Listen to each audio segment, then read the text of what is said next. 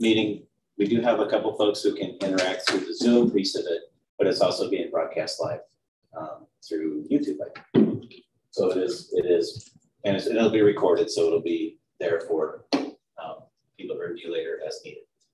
Um, so again, I'm Tim Thomure, interim assistant city manager, and um, we uh, wanted to cover just a few things today. One is we uh, reiterate what the direction we received from mayor and council was on May 4th. So that was the outcome of the community conversation on May 4th. Mayor and council took action and said, here's the direction. So I'll go through that briefly. And then that also led to some investigations done um, to some of the areas that are being contemplated. So um, it definitely includes a review of G minor, that footprint. Um, and just from a timing standpoint, just as a reminder, we had, you know, the community conversation had eight different concepts, and G minor came uh, was sort of a hybrid and or newer idea that wasn't in the original eight concepts, but it certainly was a, uh, a, viable option. When that came out, it had uh, it came out right before the council meeting, so it hadn't gone through the same level of, of review as the other options and, and to some degree the public input piece of it. Having said that, it fits within the geography and the ideals as expressed by Mayor and Council's motion. So, excuse me, Tim, I have a favor to ask. Could we do just a intro, sure. a brief intro of we can do that. Who we are and who we represent, we in addition to ourselves. Certainly, we can do that. So, what we can pause and do that. Um, let's start with Michael, and then we can go around the room, and then we'll catch this, those on the. Okay, I'm Mike Ancomas, and I'm a member of the core stakeholder group representing San Gabriel Park neighborhood. I'm Bob Van, an architect, and I live actually in Post Corner. My two sons live at the Randolph uh, condos over there across from the golf course. I'm a native Tucson, so deep roots. My name is Mark Crum. I was invited by Councilmember Kozachik, Ward 6, and I represent myself. Bill Dupont, Colonia Solana, old, old family in the Tucson area, back to the Presidio. Michael McCrory, I'm here on behalf of uh, the San Clemente Neighborhood Association, just the other side of Alvernon. Neil Echo, Reid Park Zoo Board. Uh, Nancy Quibby with Reid Park Zoological Society, also uh, core state, stakeholder. Uh, Lara Hamwey, uh, City of Tucson Parks Rec Director.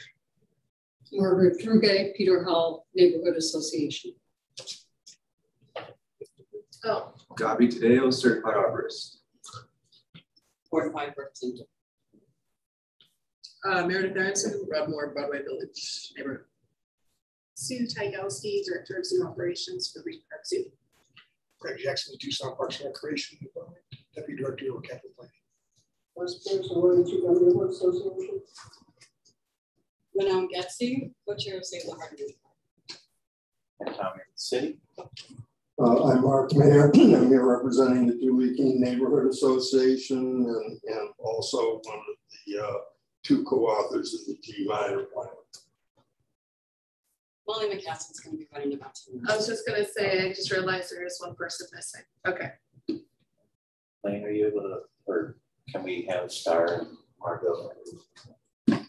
Yeah, make a motion. Margot and Star, would you like to go next? Okay, I'm Margot uh, Garcia. I'm a resident of El Encanto, and thank you for letting me participate from afar. Hi, I'm Star Sanders. I'm representing the El Montevideo Neighborhood Association. I'm here in Tucson, but my granddaughter is also here. And uh, so uh, I did not come to the meeting. I'm sorry I'm not there in person. I'm glad I'm here. Glad, glad you're able to join us. And thanks for having us do that. We most of the groups met a number of times, so I sort of took that for granted. So, thank you.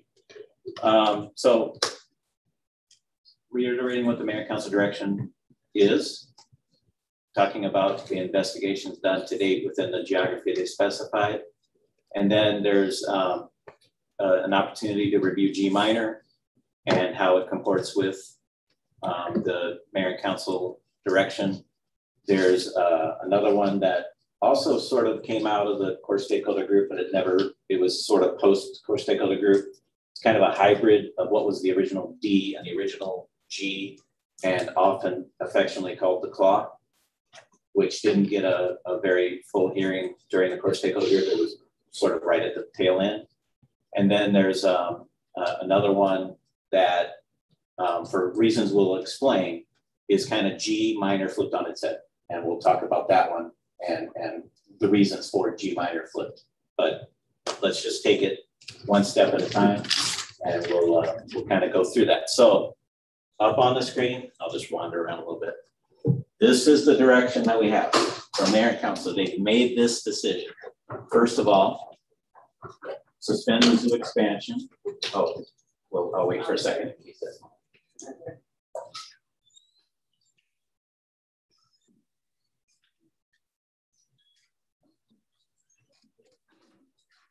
Yep.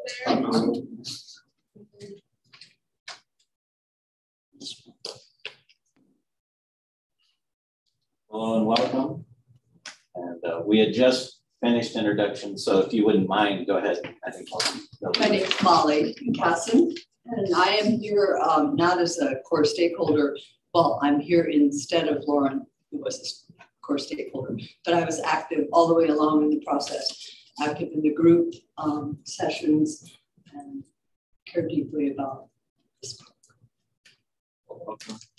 And uh, I'm Tim Tom, your interim assistant city manager, and I'll be your host MC for the meeting.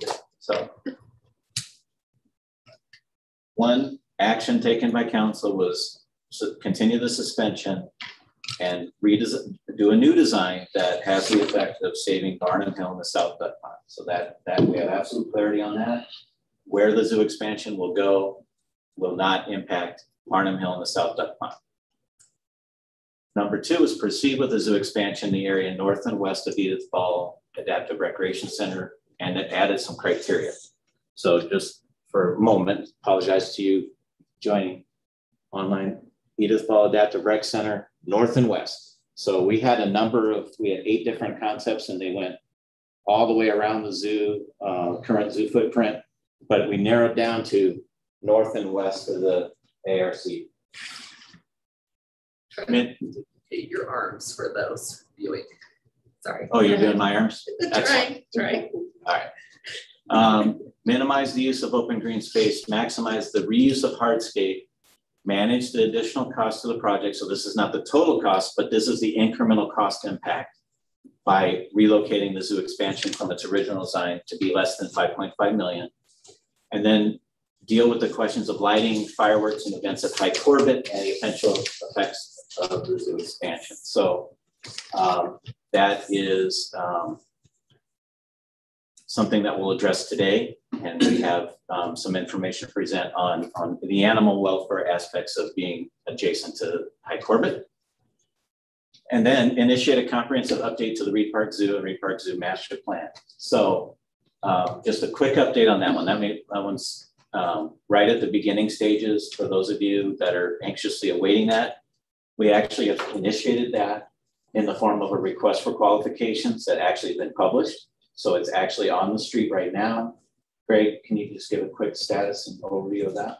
Sure. So that uh, request for qualifications was published on July 2nd, and the deadline to apply is July 27th. We are actually having a pre-submittal meeting next Tuesday on July 13th, where people that are interested in applying for this will have a chance to kind of join us virtually, talk about what we're accomplish, and ask questions as they develop their, their proposals. Give me talk a little bit about kind of the high points yeah, of it. It's, it. So because this is the qualifications, we're really trying to find the best organization that has experience in doing a master plan of this, of this nature. So what we're looking for and what we put in the RFP is, or the RFQ, excuse me, is you know, what kind of approaches have they used with stakeholder and public input processes? We don't want to limit to what we're used to doing. We're looking for what creativity other groups have used throughout the country. So this is anybody across the country and locally that wants to apply. So we think that's a real critical element is what is that creativity from a stakeholder and community input perspective. We've asked them to evaluate the current plans for the park as well as any other master plans that might impact, for example, the trails master plan that Pima County has adopted, previous plans that have been incorporated to the park, like the walking paths. So they'll evaluate all that as we look at a new master planning concept. Excuse me, can I ask a, question? Are you talking about both plans, RFT, or uh, RFQ is for both plans? Now, this is strictly for the Reid Park plan. So this would not be the zoo master plan. So we're really looking at the, the park comprehensive. We will have to take into consideration what the final decision is on where the where the zoo is going to expand. So that will obviously be part of the discussion that this company will take into consideration.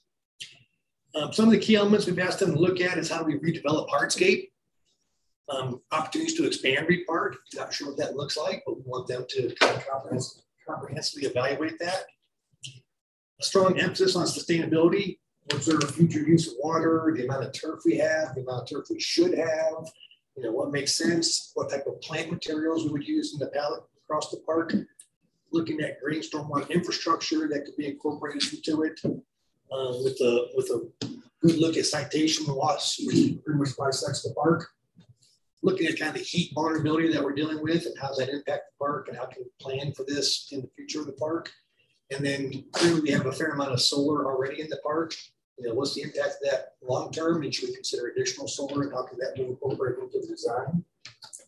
And then really looking at a space assessment. You know, we, we've got some park anchors that probably can't be changed. So what are those park anchors and how that impact the long term redesign of the park?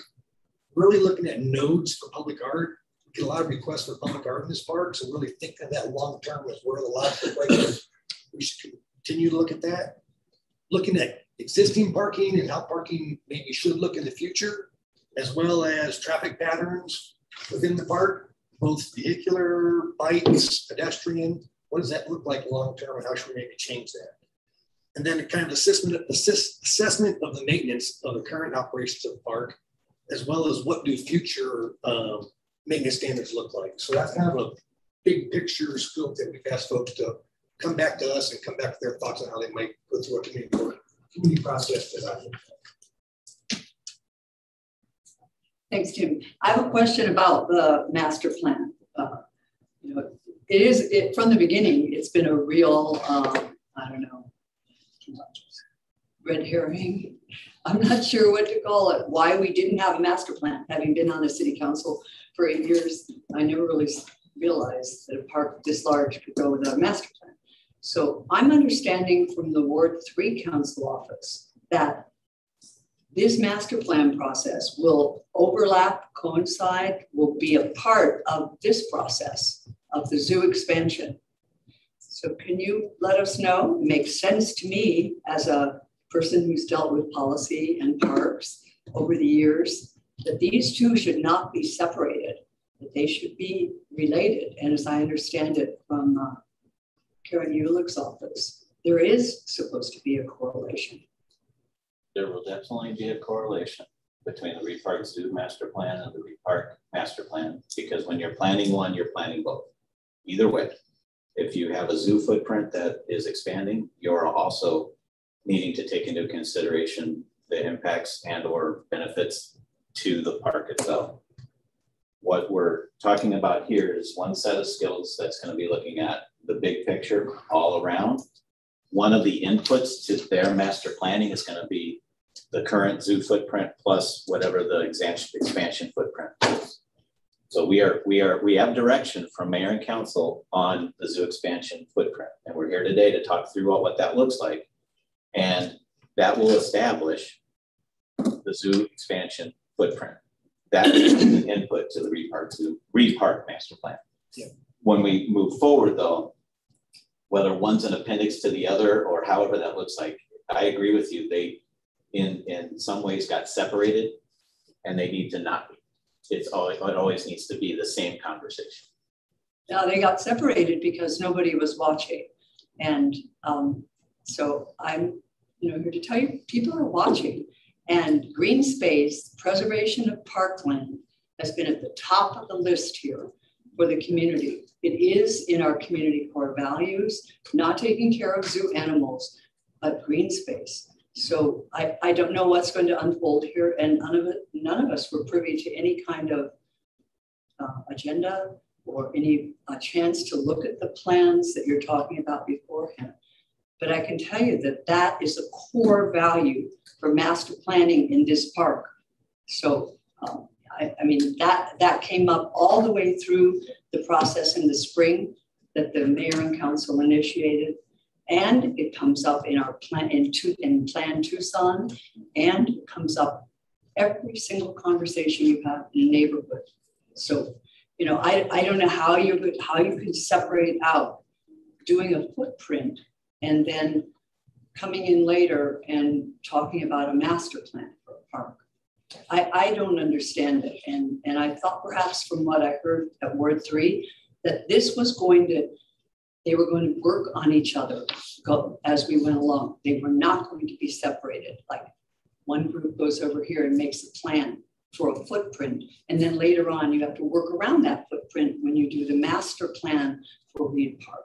So I just want to bring that up because it's been disturbing since last February, Tim, when we first sat with you and the city manager and Steve Kozachik and Richard Fimbres. It has been our issue and it has never been addressed. And I'm glad to see that it's being addressed, but it shouldn't be now uh, somehow said, well, we have to do these things separately. I just want to share that input because as somebody who's made policy on parks, I did not know how you can make a decision this large, this impactful on a park, and not consider it part of a master plan. Almost impossible. And the community is looking to us, all of us in this room, and especially the mayor and council, to solve this and make it work in a transparent, just, and a future leaning way. Understood. So let's let's work through today that we're there's no there's no rules to today other than let's we're having a conversation about exactly what you described and grounded in the guidance provided by Mayor and Council. This is good. I just bring it up because the master plan has been my issue from February. I kept saying, where is it?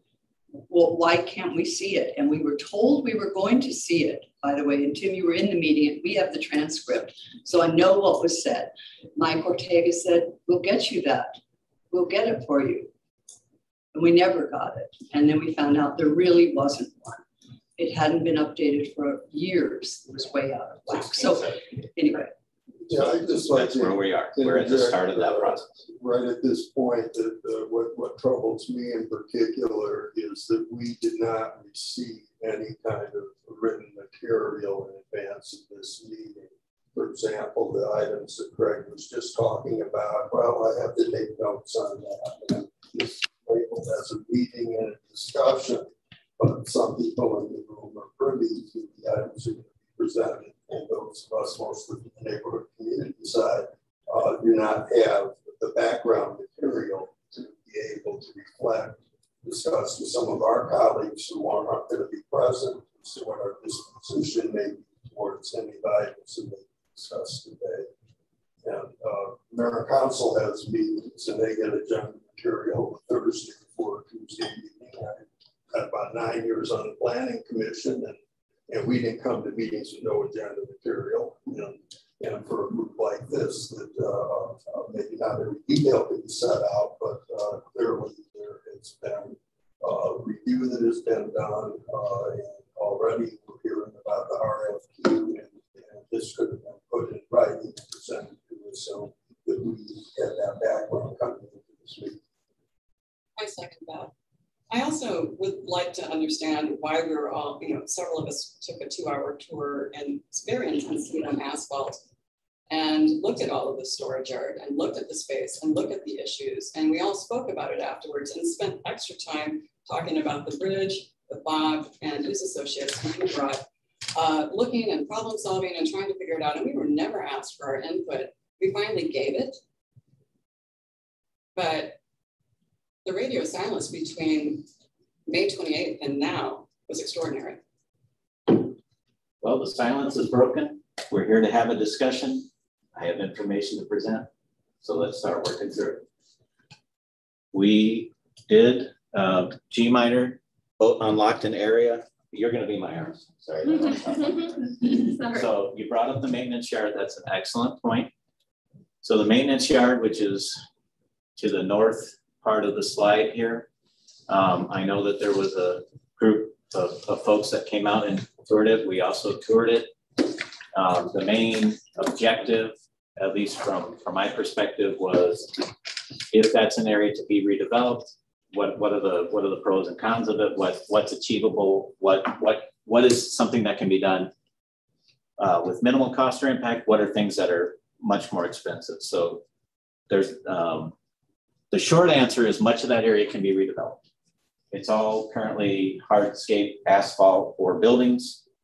And by buildings, there's things that are just more like shed-like structures, and then there are things that are more concrete or you know cement buildings that are harder to move. The only things that we sort of took off the table is it's even all the way off the slide is there's a SAM warehouse, which is a, a large structure that actually um, has, it's underutilized right now by the city, but it would be the future for any storage, logistics, and needs of the parks can move into that building.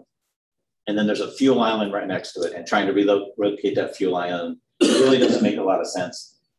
So it's really that area we've sort of said, okay, it doesn't make sense to, to try to relocate or remove that. But to the very north is what we call the barn. It's really just a shade structure, critical function in it, but that critical function can be moved. The three um, like north-south looking, those are storage units. They're utilized. Um, are they optimally utilized? Probably not, but they're, they do serve a function and multiple functions, both on the parks and the recreation side. And actually there, I believe there's even some other storage for other functions. Consolidating that and or relocating that, including more optimal use of the SAM warehouse facility makes, makes that space reclaimable. There's also, um, don't let me leave this slide without talking about Lakeshore Lane. There's Lakeshore Lane itself. There's parking lots along Lakeshore Lane all of that's reclaimable, but we have to deal with park circulation and, and, and people's ability to move and utilize the park. But we've got lots of ideas around that, both from G minor, but also from, from other options. On the southern end of the parks maintenance compound, it gets a little more dicey. That the, the building there is a is a true building and it's our welding shop. It doesn't mean it's a total non-starter. It's just it gets more expensive when you start to deal with where that operation could be relocated. Um, but it's, um, if we can leave it in place, great. If it's the only thing standing between us and a solution, we'll figure that out. What it means though is there's a electrical, big electrical service, there's a big gas service, there's a big water service all through that area. So that kind of southern edge is, is just difficult to work with depending on what you're doing there. The, the east-west is actually kind of an easement that has a lot of that utility in it. So the, again, the short answer is a heck of a lot of that area can be reclaimed and, and repurposed. It's, and, and it, and it even, depending on what we do with it, it, it, it doesn't blow the budget. So that, and I know that that's a big, a big opportunity of reclaiming hardscape one way or the other. Um, with regard to, to Lakeshore Lane, what I heard pretty loud and clear, but I am looking for people to push back on this if it's not if it's not truly the thoughts of the, the neighbors especially, is that the, the, the road itself and having vehicle traffic on that road is not necessarily a high value thing. Having cars moving up and down Lakeshore Lane, bisecting this park, I've been hearing that's actually more of a troublesome thing, both from a speeding standpoint and a safety standpoint that actually having vehicle traffic through there is is not preferred. Yeah, I'm hearing the exact opposite from my people. Okay. They want Lakeshore Lane undisturbed. Okay. I don't, I'm, I'm in that area all the time. I don't see speed people speeding there. There are plenty of speed bumps. And it's it's a very easy way to get through. If any accidents happen on 22nd, you know, and you want to come around this way and get into the South Duckpond area, you can turn around and come the other direction. So you're hearing people about Lakeshore Lane. I was under that impression too, that preserving the traffic flow on Lakeshore Lane was important. On the natural boundary, if there's a natural boundary. Okay, so for vehicle traffic, what we what we were uh, contemplating is keeping it as a both a maintenance road, but also an emergency vehicle access, but we would, we were looking at repurposing half of it to be more of a bike pedestrian ADA accessible trail for park users as opposed to a road. The only concern with that is that when you have baseball league playing, and you have your high school all those, they fill up that parking area. So I, I just, I just, we don't seem to want to ever address parking and traffic circulation. So I'm glad this is brought up. I've been dealing with this for four decades, three decades as president of the neighborhood. So I, I mean, this is a major discussion, and I think it really goes to the master plan. It's hard to make a decision today on this without really having input. But uh, you really have to look at park usage and not just a discussion at a table. Sit down with the calendar and see how you use it, when you use it. Uh, I think I sent you all some photos as yes. to what occurred and even calling the police because there was no way for emergency traffic or vehicle to get through our neighborhood. They said basically TS, it's an organized sanctioned city function. So, you know, it's it's really difficult to just do that right now. So, so well, that's fair because that's very. I will admit this is very different from what I heard throughout the process. Very different from what I heard. Okay. So yeah, I guess I'm kind of I, I of the similar mind would say, what's the impact of that decision being a part of the master plan? Because it does feel like that's a substantial sort of question for the park, right? Sort of flow in the park. So, so if that is not part of your plan currently, um, is, is that an issue for your design concept of what you're working forward with? It could be revisited within the context of That's right. So we have we have thoughts on it based on what we understood a month ago that will actually to address. We were focused, I will tell you, on park user traffic flow and connectivity, as opposed to vehicle connectivity, based on everything we heard leading up to recently. And then uh, parking, we've heard loud and clear. No, I, I just want to make right. one comment besides that. Do not treat this as a park. It's a regional park, which means traffic comes from all over the city and it's not isolated to a certain section of the city like Himmel Park or something else.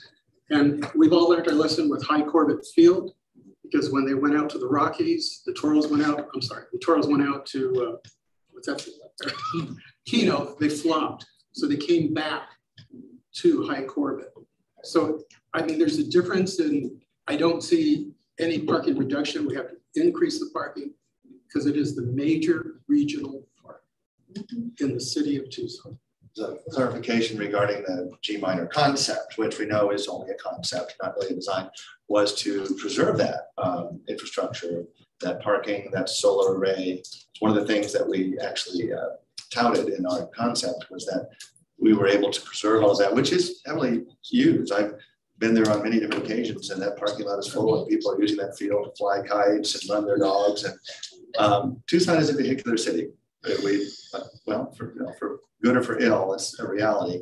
People come to the park in their cars. And so oftentimes visitor flow, park goer flow is equal to vehicle flow because people come and go with their cars. And as uh, has been pointed out, you know, the baseball season, that's an important access point. So the, all part of the big picture, which again is part of the master plan. Well, also to clarify in the G minor concept, we were not affected, we were not proposing to replace or take down any of the buildings on Randolph Way. The warehouse was outside our boundary, as was the welding shop. So we had assiduously avoided those things and looked only at those metal sheds that we thought might be able to be relocated. Another concept that was offered actually by Margot Garcia, the planner who's joining us uh, remotely, is that she's been doing some planning with the Los Reales landfill, where they have a big vehicle maintenance shop and vehicle storage area who, and she was informed, Margot, and you can correct me if I got the wrong impression, but it sounded like Los Reales was you know willing to welcome the vehicles from the park and sort of consolidate vehicle maintenance, which may have some efficiencies long term for the city and your budget and how you instead of having two separate installations consolidated. And it's just you know a few miles to the south, but we have Alvernon running up and down. We have the freeway. Just again thinking maybe on a little wider scale of if we're able to move some of these you know incompatible functions out of the heart of the park. Again, with the overarching goal of preserving as much green space as possible, which was part of the mayor and council's decision A, numero uno, letter A, minimize the use of green space. All that's understood. We're about to look at G Okay. minor here in a second and talk through it. Just a quick footnote on this that relates back to the master plan for Reid Park is that years ago, it was discussed creating a, a shuttle from uh, huge parking lots over in El Con, uh, creating a little bus shuttle for special events, meaning Hi Corbett games, big, large, you know, whatever. Uh, you know what I mean. That's master plan work. That, Right. and, and it relates directly to this expansion because handling the traffic, parking, all of that is a part of this expansion issue and was right from the beginning. And what Bill is saying, four decades of it. So now we're going to try to do it piecemeal. And that, that doesn't really make sense. So as I'm saying, this is another master plan, park master plan issue that should tie in to everything and not be just about the zoo's master plan. Understood. I wanted to add a, a few things on the parking and the G minor plan. Uh, Can, can we hold a little more G minor until we get to the slide that shows G minor? Sure. Just, I, I- because we're talking about G minor a lot. Sure. We've got more background to give before we go selling or debating G minor. Sure, let's Just- see it. Just telling you, there's, there's some information you need to have Let's move on. to be able to do that. That's Sam, can I just I'm sorry. interject one, one- can I just interject one more point about Lake Shore Drive? Um, I have concerns about cars, but I just want to interject for this plan and everything. You build for what you want to see. So if you want to see something that's car centric, build for it. If you want to see something that makes space for pedestrians and bikes as a priority, you go for it. Thank you for that. A good perspective um, that we can include as well. So I talked about Lake Shore Lane. Is there anything else? Okay. Um, one other background piece. Um, we need to talk about D, which is the proximity to Hi Corbett Field. I have zero expertise in this area. So Dr. Sue, would you like to share what you have studied relative to that? Sure. And so some of this information is, you may already know, but I want to just go briefly through um, animal welfare concerns. So when we think about animal welfare, um, it's a little bit like when you talk about sports, there's lots of different kinds of sports. And I think people toss around the term animal welfare and can mean lots of different things. But what I'm talking about in this room is really the professional standards that we're held to for our AZA accreditation. So there are about 2,400 zoos in the US. Of those 2,400, only 241 are accredited. So the accredited zoos have higher standards that we're held to. In 2018, there was actually a welfare standard that was added to the accreditation inspection. And while welfare had been a high priority throughout AZA history, it is now pulled out as a separate item. And so when we talk about welfare, we're looking at the animals' diets, we're looking at their health, both physical, mental, emotional well-being. We're looking about at their ability to self-maintain, so to groom, to play. We're looking at species-specific behaviors. So if you're a bear that's supposed to climb, do you have the opportunity to climb? And then also choice and control. So where we can give animals the ability to choose to have impacts on their own environment. So when we look at those and um, consider what our options are for expansion, we have to take into account how the external environment would impact the animals. For the animals that we're considering, tigers, pandas, slime sloth bear, there are animal care manuals that AZAs use have cooperatively written. And in those manuals, they talk about different, um, the ideal habitat that you would build, things that you should consider. Um, basically the helpful hints for how do you breed tigers. So if you're gonna get tigers together, what's the best, the best way to do that? Because it's it can be a little bit um, of a challenge. Not all tigers immediately fall in love. So when we look at um, those animal care manuals, there's one common thread through them, and it's loud and unpredictable noise is an extreme stressor. Could impact the female's ability to reproduce, could impact the ability to put animals together. So for the males and females to meet, um, could impact the ability for the mom to rear her youngsters. And of course, a question that comes to mind is, well, how are Hi Corbett field noises different from 22nd Street? Our elephant herd lives right on top of 22nd Street. 22nd Street has very predictable sounds. So through the day, there's rush hour and then perhaps a little quieting and then more rush hour. And then through the night, it's most often relatively quiet, but it becomes a um, predictable pattern. The Hi Corbett noises, the PA system, the crowd noises, the potential fireworks are very different because the decibels are through the roof and the unpredictability whether it's going to be a boring game and there's not going to be as much noise or whether it's a really exciting game. So for an animal living close to that kind of noise, it really can elevate their stress level. So from a zoo animal welfare and husbandry standards, um, being right adjacent to Hi Corbett Field is just not an option to provide optimal welfare. Anything I should um, In your assessment, you have literature, scientific stuff that supports this. Right. So both from our AZA accredited zoo partners, so the AZA um, Animal Welfare Committee, which is a group of pro professionals across the country, from those uh, manuals, as well as just scientific literature. I mean, if you go and just Google um, tigers and cats and their hearing and the sensitivity they have to loud noises. Um, also, you know, we looked at sound mitigation. There are zoos that this is such a new field. So 10, 20 years ago, people weren't paying such close attention to this. I mean, that's why there are zoos that are currently close to or in downtown. Go to Chicago, Lincoln Park Zoo is right in the heart of the city. But now that we have these standards, we can't ignore them. And so the literature is, it's an exciting time. Um, this process, while a challenge for everyone here at this table, we're at an exciting time where we're, we're learning so much about wild animals and sound impacts and light impacts. So um, not being with the natural circadian light cycle. Uh, like with such a high standard for noise sensitivity, I wonder if Reid Park is really even an appropriate place for the zoo at all anymore. So we currently monitor our collection. And so at the where we are relative to Hi Corbett, so when there are games and fireworks, we have staff there uh, monitoring our animals. And I think at that distance, it isn't. And so even the biggest issue would be immediately adjacent to Hi Corbett. The farther you get away, the sound in terms of decibels is less impactful because you know, none of us, wild animals, domestic animals, or humans will ever live in a perfect bubble. Um, but that amount of noise being right on top of Hi Corbett isn't something we can mitigate for the well, well, what I'm saying is that noise is already a factor for those animals as it is.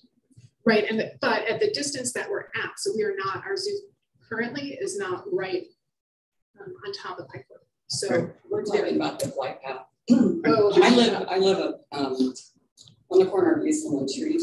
Uh, the flight path goes directly over my house, not as low as it goes as close to the animals. Where they were trying to bring that, it would have been even further under the flight path. Anytime that they have issues with a breakdown at, at, at uh, Tucson International Airport, and they they end up going. I, they were going over my house every 90 seconds. Right. And and you know, and then also if you're talking about the park, on Saturdays you can have a jumping castle in almost every single Ramada with DJs. It's quite loud. I can hear it across country club all the way down to my home. You know, so that's also an issue. And I think that's what Mike is speaking to as well. So just in general, yeah, no, the noise in general is already a problem. And we do we do measure that and monitor for that. And there are there have been times where we have had loud DJs where we have changed what we're currently doing with the animals. Um, but I think the difference with a baseball field um, the PA system and the fireworks are just at a level that's even beyond the planes. Okay, I'd like to jump in on that one, certainly. I think there'd be a very high level of support from the surrounding neighborhoods to lose the fireworks. Yes. And that we have enough of the fireworks. It used to be in this country, in this community, fireworks were for a special occasion. Now it seems like every marketer, promoter, whatever feels like they have to have fireworks for everything. I think we just lose the fireworks. Regarding just the normal crowd noise from a baseball game, uh, how many, we're talking about the University of Arizona baseball team. How many games a year do they have? What is that, the percentage of the 24, 7, 365 days a year, maybe one quarter, of 1% of the time? But the noise in of itself, that, that event, those few events are enough to cause potential tragedy at the zoo. So it really is um, not within. Well, I don't buy that versus 22nd Street because you have normal traffic and then you have uh, uh, motorcycles that are just roaring down the, the street. uh, The decibel level is very different though. That, that's the difference. So how they're hearing is, is different. So I, we do know, I mean, the first time a motorcycle rally went by, our herd reacted differently. The first time an animal is new to our zoo and we have fireworks, we are at the zoo monitoring them to see if they need something different. Do they need to be pulled in indoors where it's a little bit more buffered? So that's a constant thing that we are um, managing. But being adjacent to Hi Corbett, that, that's my concern that that's something we cannot manage for our animals. The air traffic is certainly, if we could stop all fireworks and air traffic, um, would that be better animal welfare? Yes, but that is probably beyond the scope of this meeting. Um, and so what I'm focused on right now was uh, proximity to I, the fireworks issue, Nancy knows me well on this. I've been fighting that issue for days, for years, for decades, because it, it's improper to be at this location with the zoo here. As to the jet noise, there's a 1975 ordinance that is not enforced that the jets are not supposed to fly over the zoo. The problem is with our snowbird operation, and we can't control that. But there is a 1975 ordinance, and I have sent that information to the, but as far as the city, the city can just stay right now, no more fireworks. I was told under the contract with the university when we were negotiating this whole thing, I was at the table, that there would be no fireworks. And they were not to serve liquor past the fifth inning. Walked out of there and everything changed. So this is one of the issues is that as neighborhoods, we come to the table, we donate our time, we give our input with facts, we walk out and it's like, bye. And that is the real issue here. Again, I have four decades and three decades being a president, and you know me quite well. I, I was the Friday call every Friday to Carolyn Campbell talking about the issues. And I've worked with Mark to tone down the concerts. The city had to spend $35,000 to bring in Mark Marcelli to do a study to prove us wrong, and it turned out we were right. That the noise from the band shell intensifies because of the heat plume. And those that are sitting in the front row of the band shell, the people on 29th have the same decibel level. And that was what was upsetting is that the city did not believe us and they spent $35,000. And this has been 20 years, more than that, right, Mark? That we had to go that far.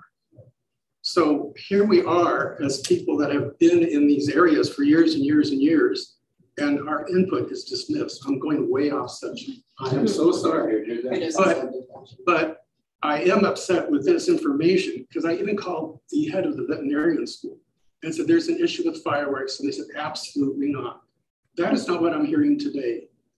Nor do I see it in all the animals around our neighborhood that our residents put on sedative, or if I call the pound. So this is a real issue that we have to be factual and truthful. And I don't care if the university loses a couple of thousand because they had a lower attendance because there wasn't fireworks. I really don't care. But it is for the health and welfare of the residents, those that are veterans who are exposed to this type of noise, to all animals, including our pets, and to the zoo. We have taken that into consideration in my neighborhood for years and years and years. So, And it's, it's really blown up now to, to a point where the community, the city is aware of it. And I'm not the weird guy out there saying, yes, I'm sorry, Right. but that's the way we've been treated. regarding the fireworks, which is one element, I hear you, and Lara knows what I want to do, and I only one. I, I. I understand, But I absolutely hear you on the fireworks, and it's on my list of things to do something about, because I, I agree with everything you said about fireworks, no doubt. And I may not be in my role much longer, but, but she knows, we've been talking about it, this is something I want to do something about ASAP, I'm with you. I think there's a lot of support for that. Having said that, um, and so my first question when we first learned of the, the concerns over animal welfare, I'm like, let's get rid of the fireworks. But that's not the only element. So I just want to make sure we, we, I hear you. I'm going after fireworks. Let me put it that way. but why did it take me 30 years? I don't know, I wouldn't blame you. And, and we'll go Molly, but then Gabe, Gabe, you had your hand up. I just I had a quick question, uh, doctor. Um, so moving north of Edith Ball, um, you would lose your accreditation as a zoo if, or you just can't place tigers there, or can you put a different animal? That's a great question. That's a great question. So we looked at if um, that was the expansion area, what other um, animals, you know, would there would there be options? And uh, based on the information in the animal care manual, we would have a very difficult time acquiring animals because zoos, there's a body that looks at placing different animals, and what they look at is not only the zoo, but they look at the facility, so the habitat where it's located, they look at your veterinary program, they look at your animal care staff, um, they look at your financials. And so all those pieces go into deciding which zoo should have this animal and will they be capable of breeding them? Will they, um, or are they better suited to house elderly animals? Um, or, so this, I think that if we had that area, and this is just my best guess, I don't think we would be able to find, we would have zoos, partner zoos willing to cooperate with us. Did you separate the potential crowd noise from fireworks? Separate out fireworks from what the It's still. And it's, it's, um, again, this is a young science, but um, from my standpoint, if we have a lot of question about what happens when tigers get uh, frightened when they aren't being introduced well and they have an event like that, I mean, it's death. It's not, it's not something that you can get in the middle of. Or so when we build our tiger facility or our red panda facility, we have to be really thoughtful because it's it's not only the breeding future for these endangered species, but it's those individuals who are not going to acquire animals that we can't care for and that we are setting up to have these potential threats. And, and just like, quick, I want to jump in. Go ahead. I, you're not through. I just have one, I'll go after you. uh, uh, I just want to say that maybe it seems to us what, why we're kind of, you know, get excited uh, about this is that if you bring someone from the zoo, a specialist, to talk about fireworks, then it appears that your hands are tied. I mean, that fireworks is actually a key issue. Fireworks only started at Hi Corbett how many years back? Up to Santoros. It's not the been 70s. that long. I went to games there as a kid, no fireworks, the place was packed. I took my kids there when they were growing up, no fireworks, place was packed. I mean, come on. I'm sorry, this is not an issue. And, and then on second hand, I'm a zoo member for many years and I love the zoo. And the care of animals is like primo for me. And that's why I voted for Proposition 203, was to improve the current habitats inside the zoo. None of us voted for an expansion of tiger breeding area. Uh, I'm, I'm, you know, just want to remind us all of that. I'm sure that's not far from people's minds. We didn't vote for that. And I'm not sure we're capable of balancing all these balls in the air. I mean, of animal and human welfare, right? I, I mean, park welfare. I don't know. It's, uh, and, and Tim, I don't want to slow us down anymore, but you can see if, if you had given us the agenda before and we knew what was going on exactly before we came, I think it would have been extremely helpful. And that's my perception as a council person, having done a lot of public participation, is that you make people feel more empowered and more part of what's going on. So I feel like we're now going back over some things that we already discussed for the entire spring at different meetings. I hear what you're saying. Uh, I don't remember animal welfare of being proximal to Hi Corbett being discussed throughout the spring because G minor came the week before the meeting. So I, I can't say that it was a core part of the core stakeholder group discussions. It certainly wasn't part staff discussion. A small amount we discussed. It. Right. So I don't, this is, this is a look at the direction provided by council, which includes potential habitat immediate to Hi Corbett, which we're doing the due diligence on. Mayor and council did not have an opportunity to do diligence on, on G minor. Well, I would suggest that the fireworks now, because I live on 23rd Street, the fireworks are extremely loud. The ballpark is not, except every once in a great while, maybe someone gets a home run, you can hear the crowd noise. But I would say that its current configuration, the zoo, is more affected by fireworks mm-hmm than the G minor configuration with no fireworks and just crowd noise. So I don't have the expertise to draw that conclusion. What I do is tell you I'm going to go after the fireworks. Right. Regardless of where we expand, what we do. Yeah. I go after fireworks. Right. Throughout the city. I can't say that. I can't say that. Because all of a sudden the university had it and it, it impacts over here at, at the track field. Yeah. Where the hell did that come I, from? I emailed university and I more or less said, touch the ball. Right. So, and then we started, yeah, and then all of a sudden they started having them for the concerts. Yeah. So it's, yeah, I got but, but, but, I'm, but to just move it, I'm, you know, because the track field is right here. So all of a sudden to have fireworks there, it's just not acceptable. Either. May I ask a quick question? What accreditation, what are you talking about again? Uh, Association of Zoos and Aquariums and their website is aza.org.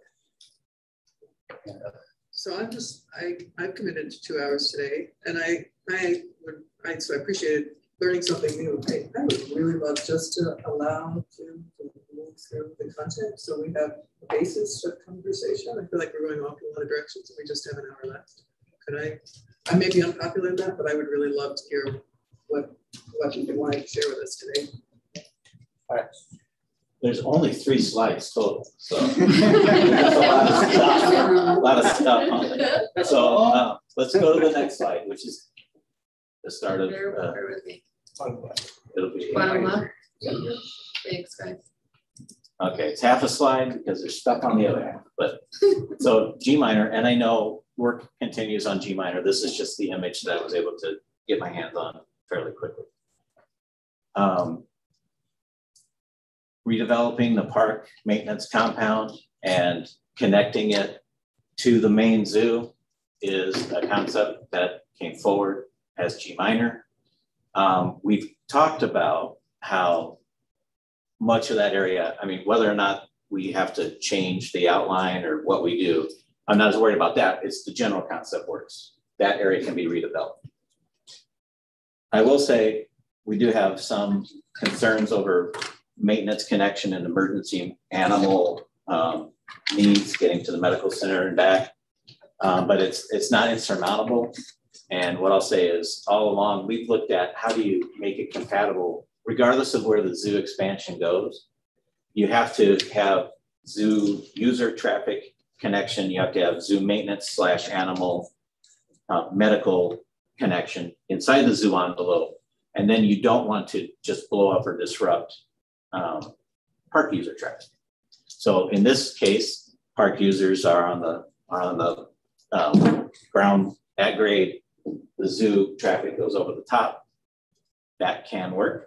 How how we configure that does have impacts. And even though, and we'll come back to Lakeshore Lane in a moment because I what what Les said made a lot of sense to me because are we targeting vehicles? Are we targeting bike, pedestrian, ADA? I think our council would go toward a more bike, pedestrian, ADA compatible user group than vehicles. But that's not, that's just me interpreting the direction we've been going. Are you talking about the east and west flow underneath? It's both east and west, but depending on where the zoo footprint goes, you have to deal with north and south as well. I mean, and we will we have another one to show and then another one to show. Um, so it's all vehicle direct or all directions for park user traffic. So preserves Barnum Hill and Duck Pond, maximizes the reclamation of hardscape, limited impact to green space. I don't, I hate to call anything zero because like there's, there's trees in, in, in parking lots. It's, so it's not zero, but it's very limited. It does preserve the current park experience because, you know, your park, other than parking, which this is parking through here inside the envelope is drawn. But I, I know we can address uh, parking. I know we can address it. Um, and it is doable to go up there. Um, I have a budget concern, and I'll say that there's three camps on that. Some say I've been overinflating the budget, and some saying I've been overinflating the budget. I feel like I'm doing my best without drawings or any other concept to say, it's roughly in this ballpark. So I don't give it a, I, I don't, I'm not saying I know for sure this would exceed 5.5 all in of net cost, but I'm concerned about it.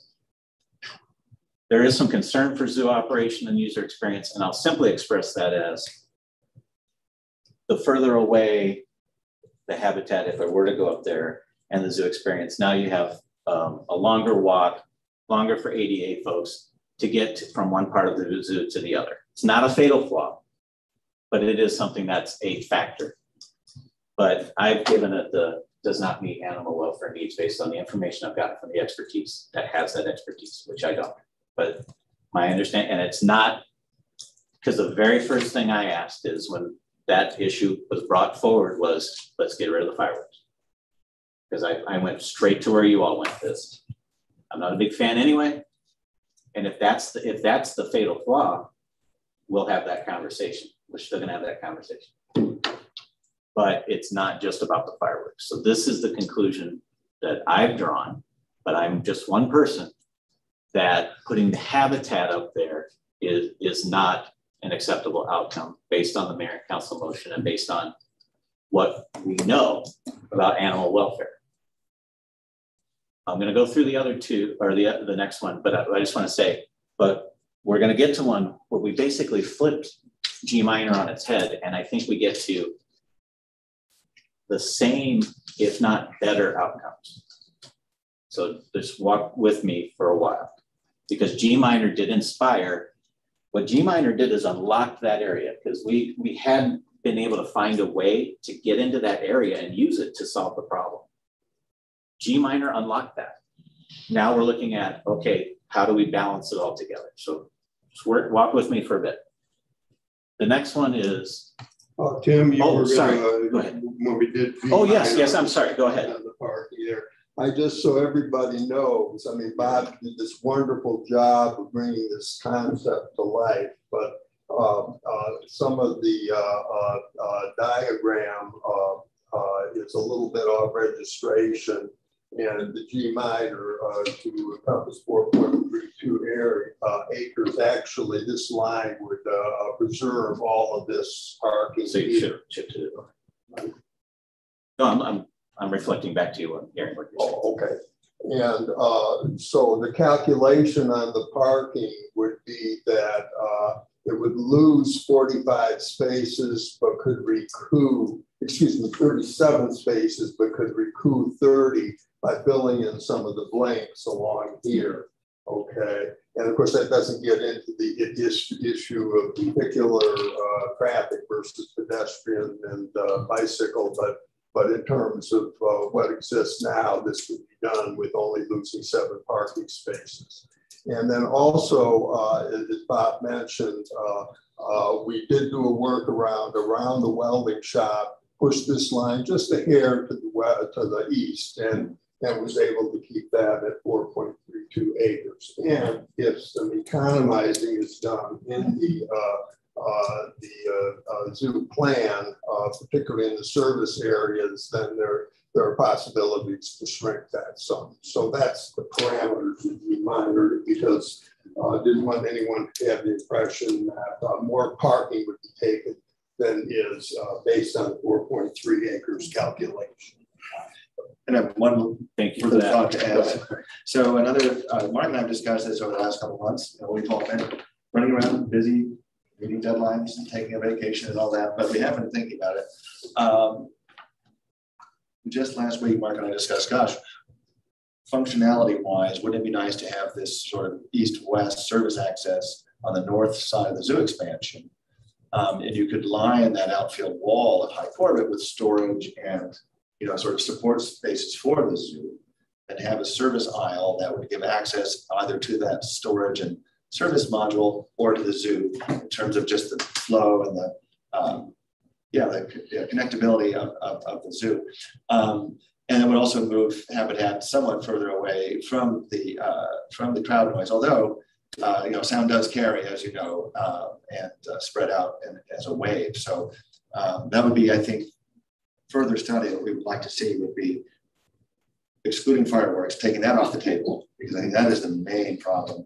Uh, let's just see how significant those other issues are in terms of, as Mark pointed out, what percentage of the uh, of the year do we actually have uh, home games and uh, potential crowd noise if we could wipe out the uh, most egregious uh, fireworks, which Okay, yeah, yeah, I grew up here. There were never fireworks until actually, I think, seventies. it was the seventies. Seventy-five. And it was only on the Fourth of July. They didn't have it any other time. And of course, it was a sellout. Everybody was seated on the field. But uh, anyway, so the, the, again, the, the concept, of course, needs a lot of development. And I believe, and early on, and I was corresponding with Nancy, and she was saying, yeah, she could see that there was a potential here, as long as there was some flexibility. So back to you, Tim. Okay. That's, Just that's a question on the playground. and- Yeah, I mean, is it, what we, you know, they, they say they want to put in playgrounds and, and the park or playgrounds, but if they need a playground behind their walls, can they put those kinds of things and buffer that up in those areas as well? And then bring the animals over here, because it does not seem it's very loud over here in Randolph Way. So if they're, if the tigers are over in this direction, then it would be quite, quite a bit quiet. They wouldn't be on twenty second. So we did look at, what we did is worked with um, the project manager from the zoo to look at what, how would you configure this? Let's, you know, how would you put it? And we did push the more human type elements right up against the fence and the habitat further to the south and west. And we are still of the conclusion that that's too adjacent to Hi Corbett Field. I've heard you that, and, and we did eliminate fireworks from that. Fireworks was not the, the deciding factor on animal welfare. It was the other non-fireworks because I'm willing to take on fireworks. Period. Tim, can you tell us what are those other factors?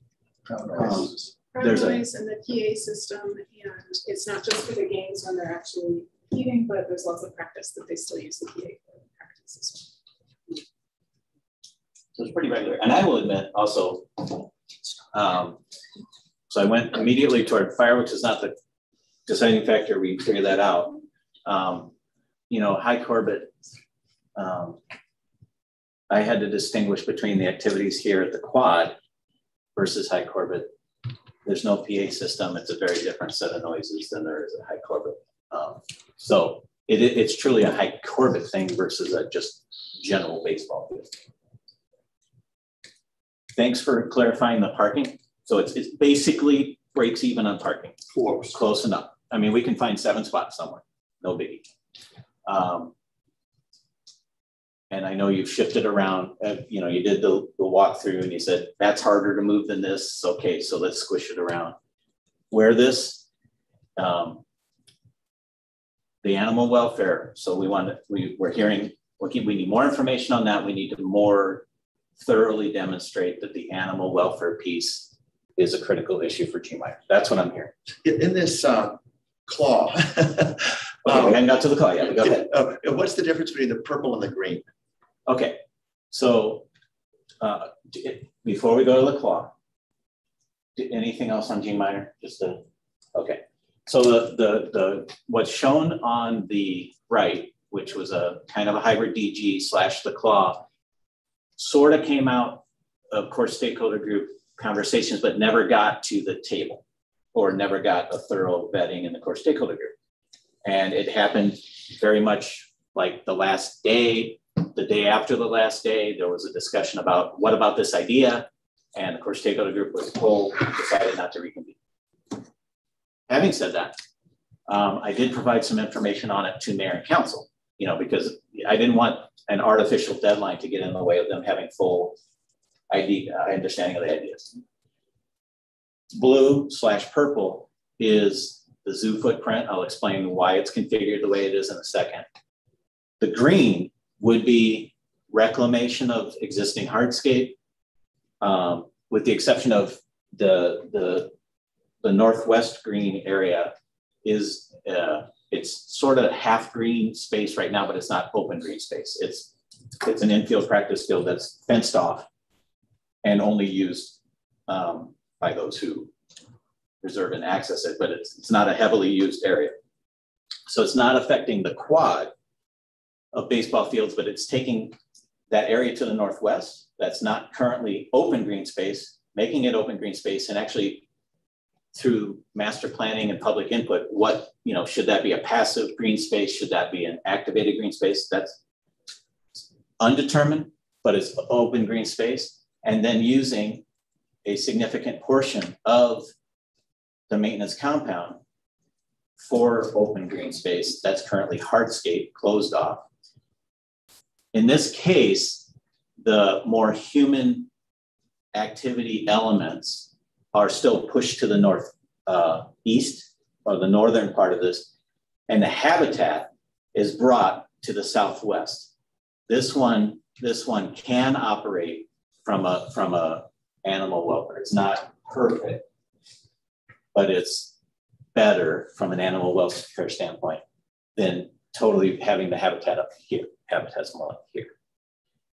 Having said that, what we also showed, and this is a discussion we need to figure out on what is the future of Randolph Way? Is Randolph Way vehicles or is Randolph Way bikes, pedestrian, and ADA parking? Lakeshore, Lakeshore.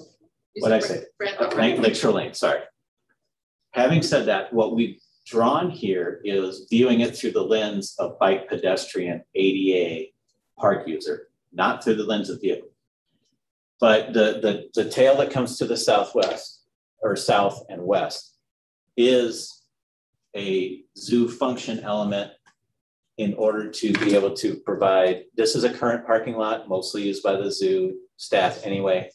This is the eastern half of Lakeshore Lane, which is how we can connect maintenance to the northern area and we can connect animal welfare in the form of accessing back to the to the zoo um, health center, taking the western edge of Lakeshore Lane and making that a multi-use path instead and closing it to vehicle traffic.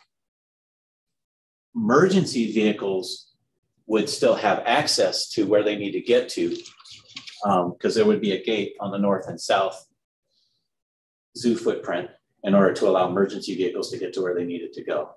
But it'd be we'd be closing this part of the park to cars. We have to resolve parking, no doubt. But what this does is generates the primary outcome, preserving Barnum Hill and Duck Pond. We do reclaim a significant portion of hardscape, either directly into green space or to elements of the zoo. And it's important to note that inside the zoo footprint, it's not all hardscape, uh, whether it's 50-50, what that looks like. There's green space and hardscape inside the zoo footprint. But there is a net gain of point of about half an acre of green space overall. Uh, minimal impact to the park experience and, and why I'm describing that is what we've shown here is in lieu of the zoo traffic going over a bridge, the zoo traffic is that grade, in which case you can have the vehicle, the vehicle access when necessary, and the zoo users you know, uh, stay at ground level. What we create is what we're referring to as a crow's nest of an elevated bike pedestrian, um, ADA accessible high point where you can come from the south, northeast, or what, well, in this case, west, east, north, or south. You can get to that elevated high point where we could even create an experience at that elevated high point. We've seen examples around the world of where you can create something really cool up there that's only bike, pedestrian, ADA accessible, no vehicles. And then you can, when you go there, you can go in either direction. What this would also do is better activate the AR, uh, uh, uh, Edith Ball Adaptive Rec Center as an element of the park and create more of an environment where um, the very northern edge of ARC is where a future, where, where a splash pad is, is programmed under Prop 407. Right, right now, it just isn't a, I'm just gonna, where we're gonna put it right now is not the best place in my mind to put a splash pad. You, you, would go to the splash pad, you're surrounded by walls, and then you go back out. Here, now it lays it down and turns it into a splash pad that fronts onto a picnic area, open green space, whatever that area could transform into. Okay. Um, For the children who are going to be waiting in line into the Edith Ball Adaptive Center in the summer, we have a huge line of people outside of that pool in the summer waiting to get in. Um, can they easily access the splash pad from that area? It would be open now. It's not okay. now. It would be open here. It would be opened up. What it, what it, it's a good question. Yeah, so they would have a, a better uh, access to that slash the pool, pools, but also it, it activates the parking lot of the ARC, which right now dead ends at the park maintenance compound. So you, if you're going to park there, all you're doing is parking there, and you're going to the ARC. Here you're parking, and now you're open to the to the to the the, the new park features and the future splash pad. Um, I've got a couple little. I it's just me. Judge me if you will. I think we can do this for the budget. We'll argue about that later. Um, concerns for zoo experience. This is, I, I don't want to overstate it, but you do have a longer, elongated zoo. So now you come, you know, you've gone all the way down to the zoo, see the elephants. Now you're going to go all the way up and see the tigers. Um, it's not a it's not a deal breaker by any stretch. It's just a feature, and I've given it the tentative check mark on animal uh, welfare because now they're they're further away. They're more like 500 feet away. They're and every foot counts. But and every tree counts. How many trees are going down with this? Uh, in this case, there would be. You would you would it, the zoo would be designed to incorporate as many of those trees as possible. The zoo's goal is not to tear down the trees. The zoo's goal is to use the trees. So I'll let. Really? Yeah. Yeah. Yeah. Well, I mean, the public uses those trees as well. And, and I'm trying to understand how many, um, how many acres are, are going in this area because people are using this area. Ever since the, the zoo took the, the 7.5 acres for the elephants where that soccer field was, that's the last flat space for people to fly kites, do balls, uh, you know, run around, picnic. There are quite a few trees. They're placed with staging in mind already. And is that going over the little thoroughfares sidewalk that go, cuts through the park there? Because right here, excuse me, right here, there are lovely trees all planted that are quite young and in a good place, specifically made for people to picnic under right next to the larger pond. Um, when you actually go through what you initially decided to do when you came over here, you were taking almost as many trees as you were here. You just didn't notice it as easily because they weren't in that area. But people do need flat spaces to be able to spread out and have a good time. And last time I went back, past there, there was a kite, they were playing ball, they were picnicking all at once. And you're going to love the next one. all right. So we do create accessible flat space that will, it won't be dirt and grass. It would be either a grass field, meadow for the kite flying, whatever. So you're reclaiming the ball field for reclaiming public the ball use. field for public use, and then creating the new, reclaiming the maintenance compound about you know that that half of the maintenance compound that's being you know uh, repurposed for flat accessible green space, which um, is going toward that vision that you just outlined. And there's a net gain of about a half an acre. So there's a net gain of a half an acre in this configuration. Right, when you count the ball field. When you count the ball field, absolutely. Which is right next to the children's playground and the ice cream truck and uh, and a DJ. Let's just point that But out. your, but your overall space is broken up into much smaller little spaces. It doesn't. I'm telling you, Sam, love the next one. It's like you're scripting it for me. So, go ahead. I have a question, Tim. So uh, if the sound is hard on animals, wh- why would we consider that passive, that green space up on the top good for humans? I mean, I, I don't know. It just doesn't make sense. I'm sorry. The- If the park is meant to be a place for passive recreation, as well as some active, and over the years, we've done a pretty good job balancing that. This doesn't look like a balance to me. So I, I can't see, I mean, what Manon is saying is so true. Uh, some of us had our kids on the Randolph uh, soccer team, and that was their field over by the zoo for years. And now kids have, there is no flat space, and, and you say there's something coming up. But this actually just cuts right in in terms of a user experience for people coming to the park. This interferes to me enormously because all that all that flow is gone. Unless you wanted to get rid of that ball field up on top and, and turn it into park space again, which would have been, if you'd had a master plan, that's what people would have supported years ago. They would not have wanted that to be fenced. They would have wanted it left open. And maybe they would have lost, but that's a master plan process would have done that.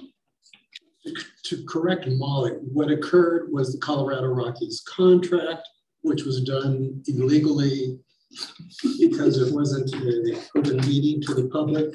Colonials wanted to file suit, we won, but then the Colorado Rockies came back and said they'd sue the city for 16 billion, so. Oh yeah. There's a lot of history. Yeah, Larry, you do. welcome to Oh Tucson. Just absorbing it all in. Well, I mean, I'm having trouble with a couple of the uh, key features here. Yeah. You, you say you could exceed budget limit over on G minor, let's see the other likely slide. meets budget limit. Well, in both scenarios, the four buildings would be displaced.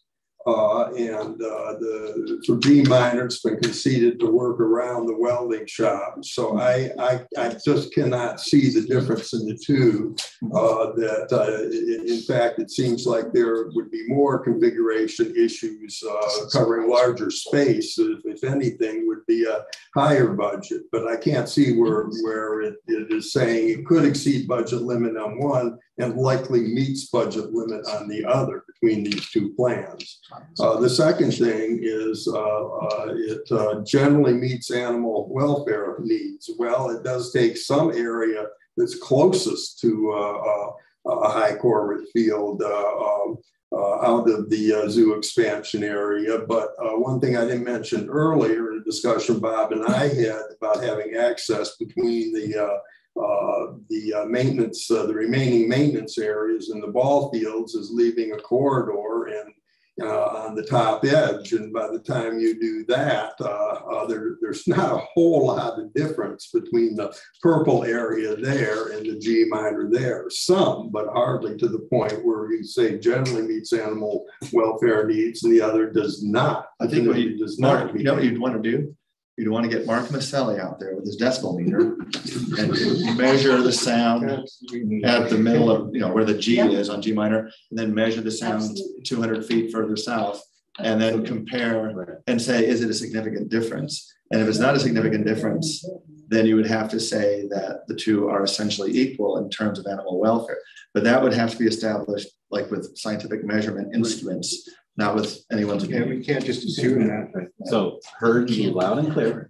We needed, we need more information on the animal welfare piece relative to noise, sounds, fireworks.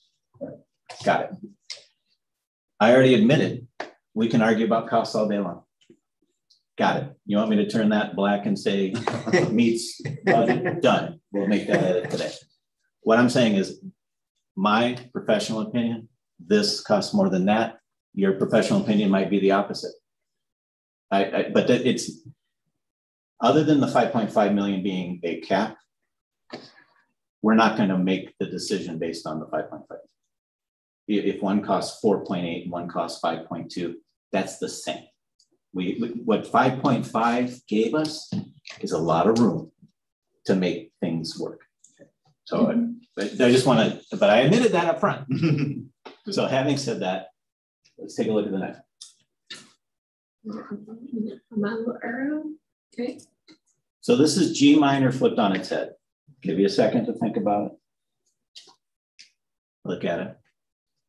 We still reclaim the, all, the vast majority of the maintenance compound. In this case, we would reclaim that entirely into open green space of, of, some, of some nature, right? We know there needs to be some blend of program space and passive green space. We get that. This is, it's, it's almost five acres worth of land um, to work with on that new. So this, you know, the, the ball field is in that calculation. What it is is still taking down the fence, and then part of that ball field is inside the zoo footprint. Part of that space is outside the zoo footprint, repurposed and made accessible. The area moving, and again, we have to come back to the discussion of Lakeshore Lane. This presumes Lakeshore Lane closed to vehicle traffic and is bike pedestrian ADA traffic. Again, with our crow's nest concept, but now you're going now north, south, east, and west. You've activated the Edith Ball parking lot to be more servicing more things. You've, you've now opened up that splash pad and that park user experience right into the uh, the, the central part of, I was also going to say the part. no, I didn't mean to poke a bear there.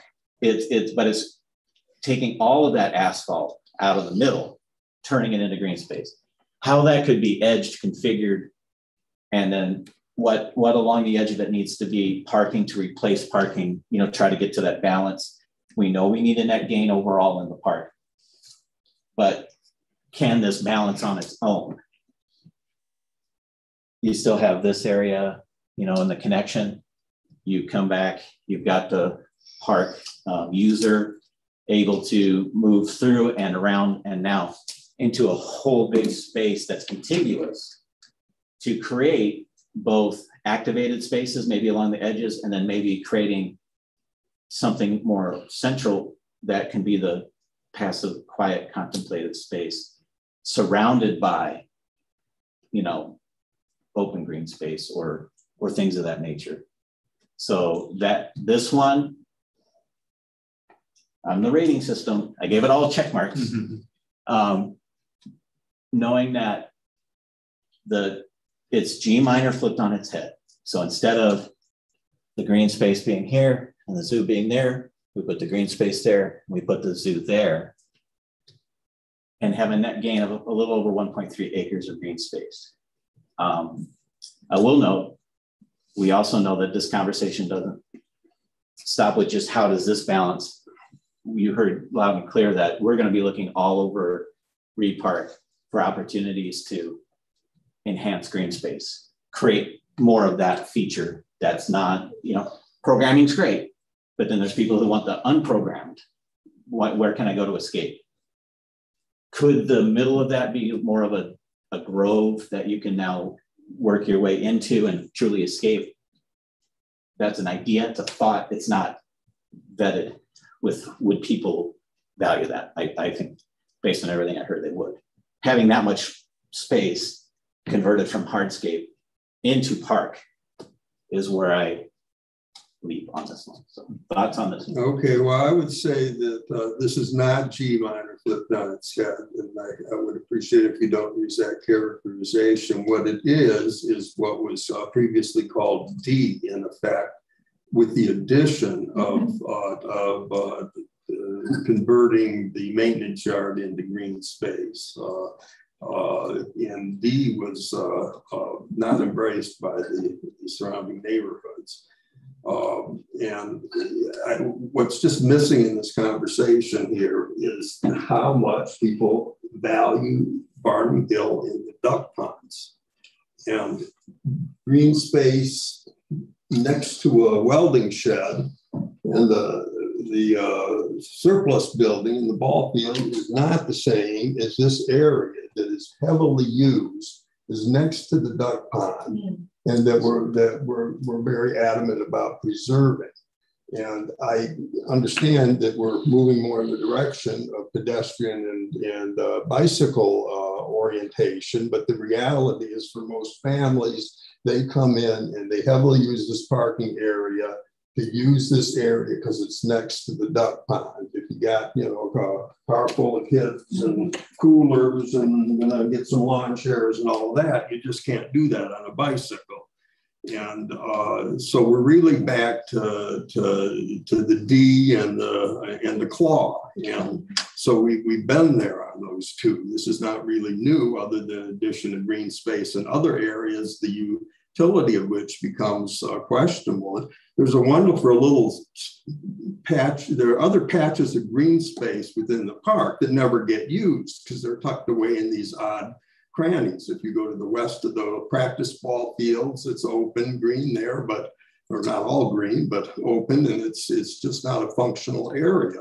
And just like the Ramada that is uh, north of the barn there, and I'm told it's used quite a bit, that people reserve it, but there's like a green splotch that's south of the blue ballpark building that is north of there. I doubt that that has much functional usage. So, and, and to say that we're going to trade this area that's heavily used now by, by families and park users because of its adjacency to the duck ponds in Barnum Hill and trade that for something that is separated uh, and and is is more compromised because of the, what is surrounded by. Uh, uh, that is just not the same. I'm going to say that the 2,500 people that have um, been speaking to me for six months are uncomfortable with the idea of the zoo moving past Lakeshore Landau. The reason for this is because zoos all over the country are eating up park space. This is a development aspect of zoological societies that has become quite well known, um, unless you're in Milwaukee and they move the zoo. But you know, we're just not okay with them coming in and us having to look into a zoo. And, and not everybody's comfortable with zoos. Not everybody wants to see a zoo. Not everybody wants to smell a zoo. And smells are a big deal sounds are a big deal, not just for the animals, but for the humans around the zoo. Mm-hmm. And this brings them directly here. And again, we're going to talk about these trees. These trees are public access trees. They're not meant to be behind a wall. A lot of these were planted by Mr. Reid himself. These palm trees have been there a very long time, or most likely grown in a nursery in this park by Mr. Reid himself. Um, you know, we have lovely trees for people to picnic right there.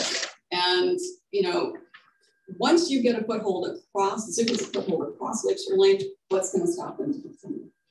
Are we suddenly going to break down these ball fields that we never said were possible to break into for green space for the public in another 10 to 12 years? We don't know, but we question. And you know, at this point, I can guarantee you that the majority of the people who have been speaking in are not going to go through this.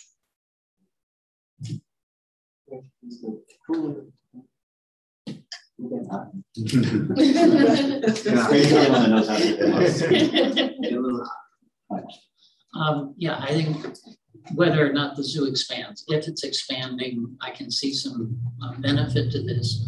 Uh, but there are a couple things I would want to know. One, I don't see why you have to take out those trees and that green space next to the um, detention basin, whatever that thing is, that cement pond.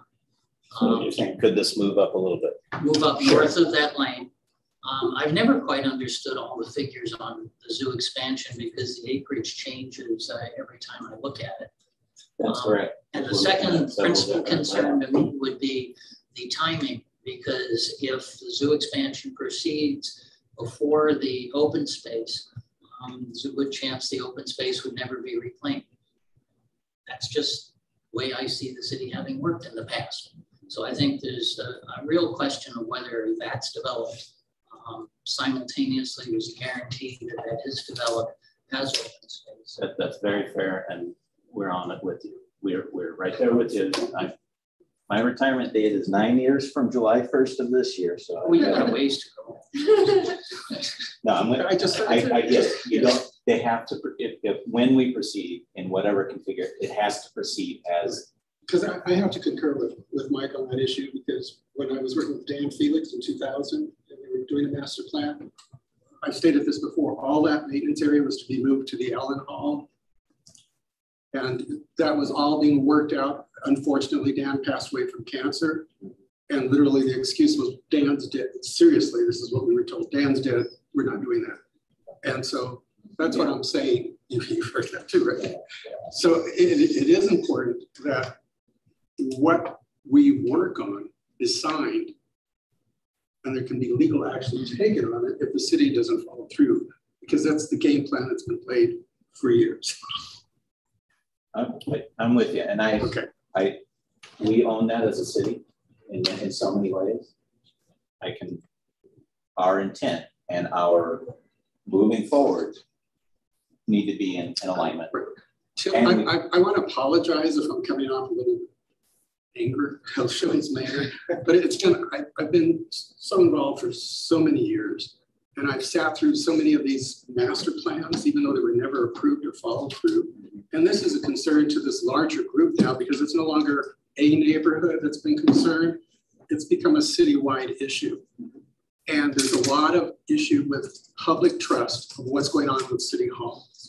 And this is why you're reflecting a lot of these people coming through with a little bit of anger and, can we trust you to follow through? I apologize for that because I've, I've been involved for too long. But it is an issue that maybe you can explain to the city and to the mayor and all right now. There's a public trust issue. And with COVID and all, it's really added to it because we haven't had the ability to go to mayor and council meetings. And even if you sign up to be on, you know, one of the uh, call to the audience, you're lucky if you get through. So it, it's just really been an issue. And I think that's kind of some of the problems that were occurring right now with having these open discussions. And it's well taken. I, I haven't felt anger. What I've felt is calm. And I took my medication. But what, what I will say is, and I'll just take a moment for myself. I took a little heat over trying to convene this in person. And luckily we were able to get most of you here, or at least the substitutes and, and and the, the people who needed to be around the table.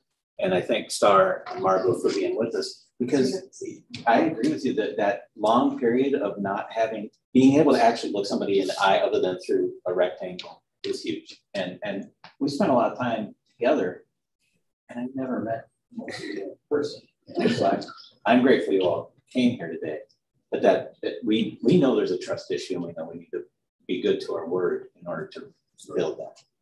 We'll, we'll go Gabe. Hold on, hold on, now, we have to go Gabe, then Margot, she's had her hand Oh, I'm sorry, while, Margot. Then back into the All right, room. Gabe's Just up. Trying to. Um, you guys can call me Gabi. Gabi, sorry. Sorry. Um, I'm just gonna point something out. Yeah, here. up. Um, So I do tree valuations for insurance companies and this little swatch of the eucalyptus. uh, worth Close to like three million dollars of trees. So when I see this, like just a simple ratio of species, there's some younger trees here, but this is millions of dollars of trees that you're gonna lose. And I wanted to, you know, make sure we, as like a group, get that data. If that data comes through it's like, this is not an acceptable area for you, like this is, you're gonna lose all that for what, you can't put animals there? And that tree, besides the emotional value of the tree, the monetary value alone of this tree is huge. And so I just want to point that out, like we talk about space, talking this is a park of trees for people to visit. Instead, you're gonna take an oasis and put a cage. And who, who knows if the Reid Zoological Society is solvent in fifty years? They exist in hundred years, but the green space will. So that's just what I need, you know, to put out there, because I'm getting a little like, you know what I mean? It's- And this, this where it says minimize use of green space, well, this takes a vast section of green space. It wasn't have an outcome with a net gain of green space. It was minimized the use of green space, i.e. existing green space. And, and this just takes a massive uh, chunk of uh, green space. And I'd reiterate uh, Manon's comment earlier, our neighborhood association is on record that this is not going to the west of Lake Shore Lane as well. So no, I will say we've had this very conversation. Reason, one of the reasons we didn't receive materials before today is we always do a set of one-on-one briefings for every council to make sure we're following their direction as closely as possible. We owe that to them. They make a decision. We're their staff carrying it out. We meet with them individually. The last, the last one-on-one briefing was yesterday. So we literally, you're one day after mayor and council receiving this. We talked through this. So they've seen these and we've talked through that. So we are, we are admittedly interpreting a net gain of green space as being compliant with mayor and council's spirit and intent when they made the motion. No, that's not what the words say. I understand that. So that's why we've been talking directly to each of them about what we're doing here. Because that's that's what we do is they give us direction and we don't. Maybe at times we just run off and do the thing best as we figure we think we're following their direction and sometimes we're not. So we we are talking to them regularly to make sure we're in alignment. Having said that, Yeah. Margo. Hi there. Hello. It's been a great conversation and it's wonderful to listen in. And um, thank you to the new voices. I'm learning how to put your names with your voices. My my questions were were two. One is um, I'm really um, in sync with this thing about the cars to to bring all your equipment and your picnic basket and all those things. How you would access that new uh, open space, that re, um, the re, uh, reconfigured um, hardscape, the redeveloped hardscape into green space. One, where you see that access point, and of course, it's totally devoid of trees. So that would be one of the first issues: is where you're going to get the mature trees to put into there. And the second one is was not clear to me what this hatched area is in blue and white with the long um, tail, I think it was called earlier. Does that go into the zoo and that's where they gain some maintenance and so forth space? And, and how do the person walks, I guess from the entry point, it would be shorter into the tiger area, but from the elephants, it would be quite a long walk. So, so what is, uh, how do you access the redeveloped uh, hardscape and what is this striped area? Thank you. Thanks, Margo. Um, regarding accessing the new green space, there is the ARC parking lot, which is currently blocked off from everything, would now be opened up immediately adjacent to the new green space Okay. and the uh, splash pad. It's not on the slide, it's not evident, but Lakeshore Lane comes from the north and there's parking uh, up there. Now, what also, um, there was a discussion a little bit about having that like corridor between, if, if the zoo in G minor was up there, having a corridor for vehicle maintenance access between that, you know, northern edge of the zoo and the Mhm. southern edge of the Hi Corbett compound. That's, it's not real evident, but we, we show that here as having a gap there. Would some elements of that gap now be parking along the green space? Would- That's something we would figure out and work together on. How, how, how, so you definitely have two entry points that are vehicle accessible. You actually have the entire space activated through bike pedestrian ADA through, we talked about the elevated pathway, but the, but the black line is just an example of, and would it cut through the middle? You know, does it make sense or should it be to the edge? Do you create a grove? We can route that. But could, would, would the edge of that now have just, you know, parking to both balance, but also give, what we want to do is provide parking nearest the thing that we want activated, but then buffer things that you want people to be able to explore more on foot or on bike. But that's the answer to that one. Okay. The other one was. The tail. Tail. Tail. Sorry, it's, it's only hatch blue here because we're, we want to talk about phasing if we went down this path or, or the claw. Um, it would, it, it, so that would be inside the zoo footprint, but it's not habitat area. It's the maintenance access and emergency vehicle access. And we would, we would be able to do that sooner because it would comport with doing the, the World of Play project, which is on hold, not because it was expanding into Barnum Hill, but it's on hold because it was uh, uh, between current zoo footprint and Barnum Hill, and we've already moved. There's things happening inside the zoo footprint. You know, the flamingo habitat moved and expanded, and then there were things that were coming behind that. So we'd be able to activate that project while we're doing the master plan and while we're doing the redesign, whether it's here or somewhere else. That's a common element to everything is being able to provide that um, access and space. Okay, thank you. You were so close. Mind you, just you can also expand the Edith Ball parking uh, into that area that's just got some stray maintenance ones. That, that's that's correct. I didn't I didn't want to no, not further over to the east. But in the existing hardscape area, you could create more park. You could expand that Edith Ball parking lot. I will tell you one of the thoughts I had was, which it's not going to work, and I don't think it would be popular, was actually you could, in, in little green space through here, you could actually connect those parking lots. And so somebody could drive from one side to the other, things of that nature.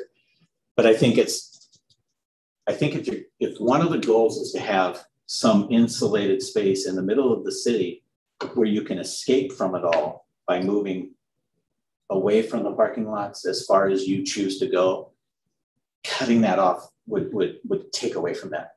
So I, I didn't show that because I I, st- I think it's it's self-defeating. I, I have a question. How am I going to walk to Edith Ball Adaptive um, Aquatic Center from my home the setup? As it stands now, I can walk from Treat Eastland directly across to the Edith Ball, and I don't have to drive, or I can bike across very easily. This completely cuts off my access. You coming from the west?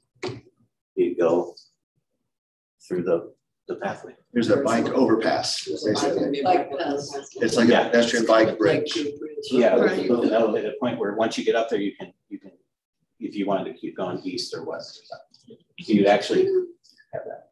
Can, point of order, people are jumping in and I know Mike and Margaret have been waiting a long time. I was going Mike Should this we respect people who have their hands up? I'll, I will I'll yield because, uh, as Meredith said, she's had her hand up. And so it's.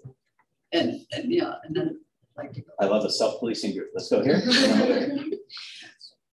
To my mind, the net gain of the one point three two acres is not equivalent to having the zoo expansion with walls.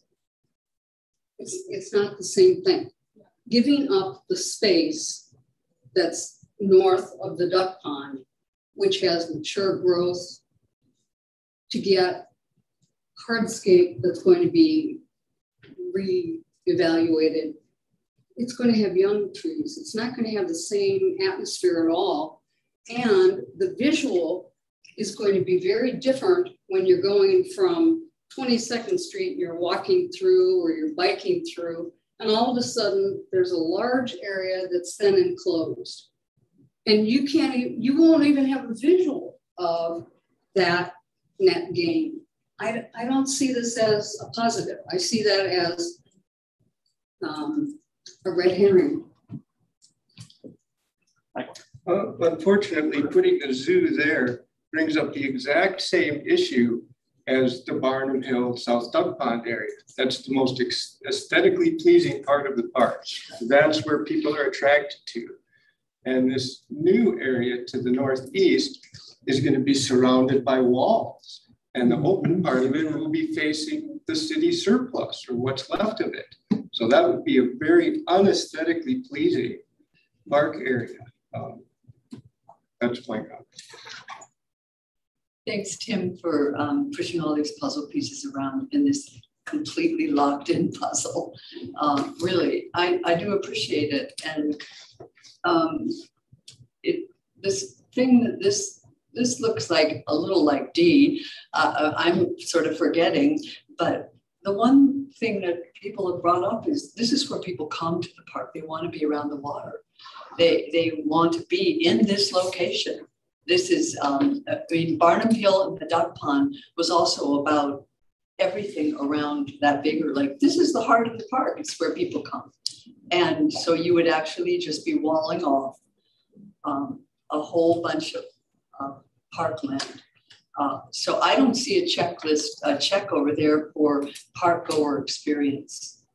Um, I, I don't see it checked off. So, I, and I see why it's not checked off because this actually lessens the park goer experience. I, I don't know what the answers are, but I think it would be good for us to understand about the money here because we were originally, I forget the figure, but mayor and council said that we could go over, um, you know, with G minor. If it went over a certain amount, um, Bob was They're five and a half. so five point five, that it would be acceptable. So I, I don't know where we are. I don't know what took us over.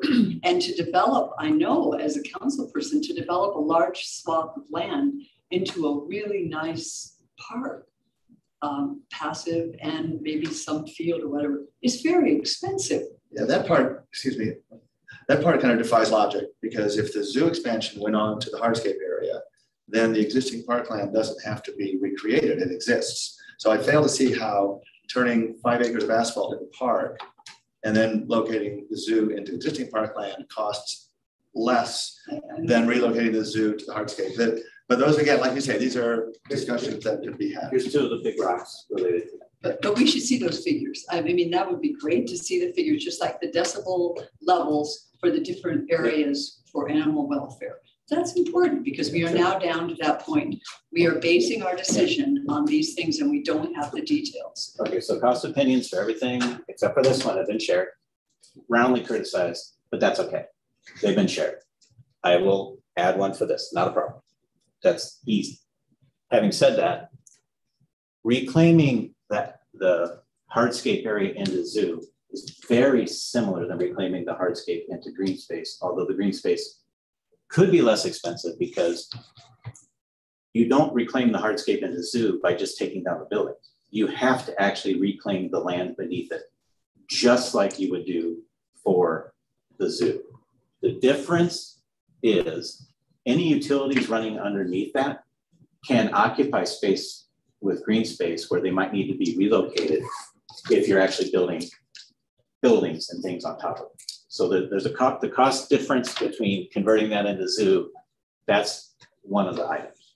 Is it's not um, they both have the same level of like reclaiming the land, but for example, this area here, if you were, and I know we've moved G minor around to maybe avoid some or most of that, but there's all kinds of buried utilities through there that can be compatible with green space that might not be compatible with the zoo. The zoo might have to relocate relocate those utilities.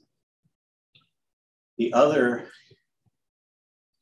million dollar difference, maybe, is the configuration of the zoo redesign going into the claw and to a large degree going into G minor is a very comprehensive redesign. Now I know we have the buildings, but the buildings are all associated with the habitat. They've gone through all that work.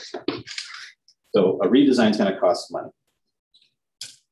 This footprint is, is literally flipping the zoo design that we have over. So it will save significant money on the redesign. So there's a constructability difference and a design difference that, yes, that's going to cost quite a bit of money, but the other two items are where I see it, you know. So you could put the AutoCAD on mirror function and flip the design that was going to go south. So it's really the original zoo expansion flipped on its head, not G minor flipped on its head. Fair but, enough. I would argue, and I, had, I didn't want to go there. G minor has no bearing to G. This was D. yeah. This was D. That's D plus. Yeah. Okay. so let's just get let's just get it a new, new letter. Yeah. New letter. D plus. Well, we started. Yeah. The, the, rip the band-aid off. Yeah. The way we got G minor was we had the G north expansion, yeah. and then we moved it further north right. and started taking things out. So yeah. So we have Meredith, then Mark, then Phil. Okay.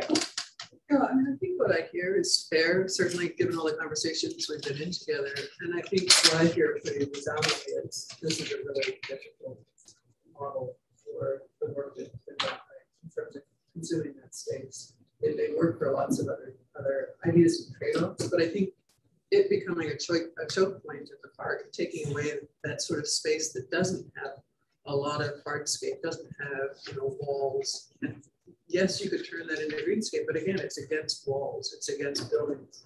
Very different feel. The quality of the park, I feel like still is something we need to be able to hold on to. And that that essentially over constrains it.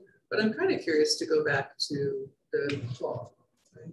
Because because at the end of, at the end of the day, I hear, you know, G G minor is not acceptable for animal safety. I, I hear that, right? Um, but I I would actually ask, is there, you know, and I we have hardscape that are parking lots, and you have space that could be repurposed further out for parking lots. Have we done enough significant work to think about how do you absolutely minimize and still create tighter scape, because I think that's what you're trying to do, that is not so imposed into that um, flat field area and allows the, the zoo not to choke the movement of people across east and west in ways that are meaningful. So I feel like I, I feel like what I'm hearing is, you know, that your your proposal that you're excited about is probably largely troubling to almost everybody from the neighborhood group who's at the table, right? So, and that's significant. I hear that, and I, I certainly would add my voice to that. But it feels to me like there's a piece of work to say the kinds of things. It's a hard balance, and if you want animals, right, you're going to trade that with a lot of work that's been done to think about what is that space to. It's not just about green space; it's about that open space at the of the park. So it's a it's a hard it's a hard design solution.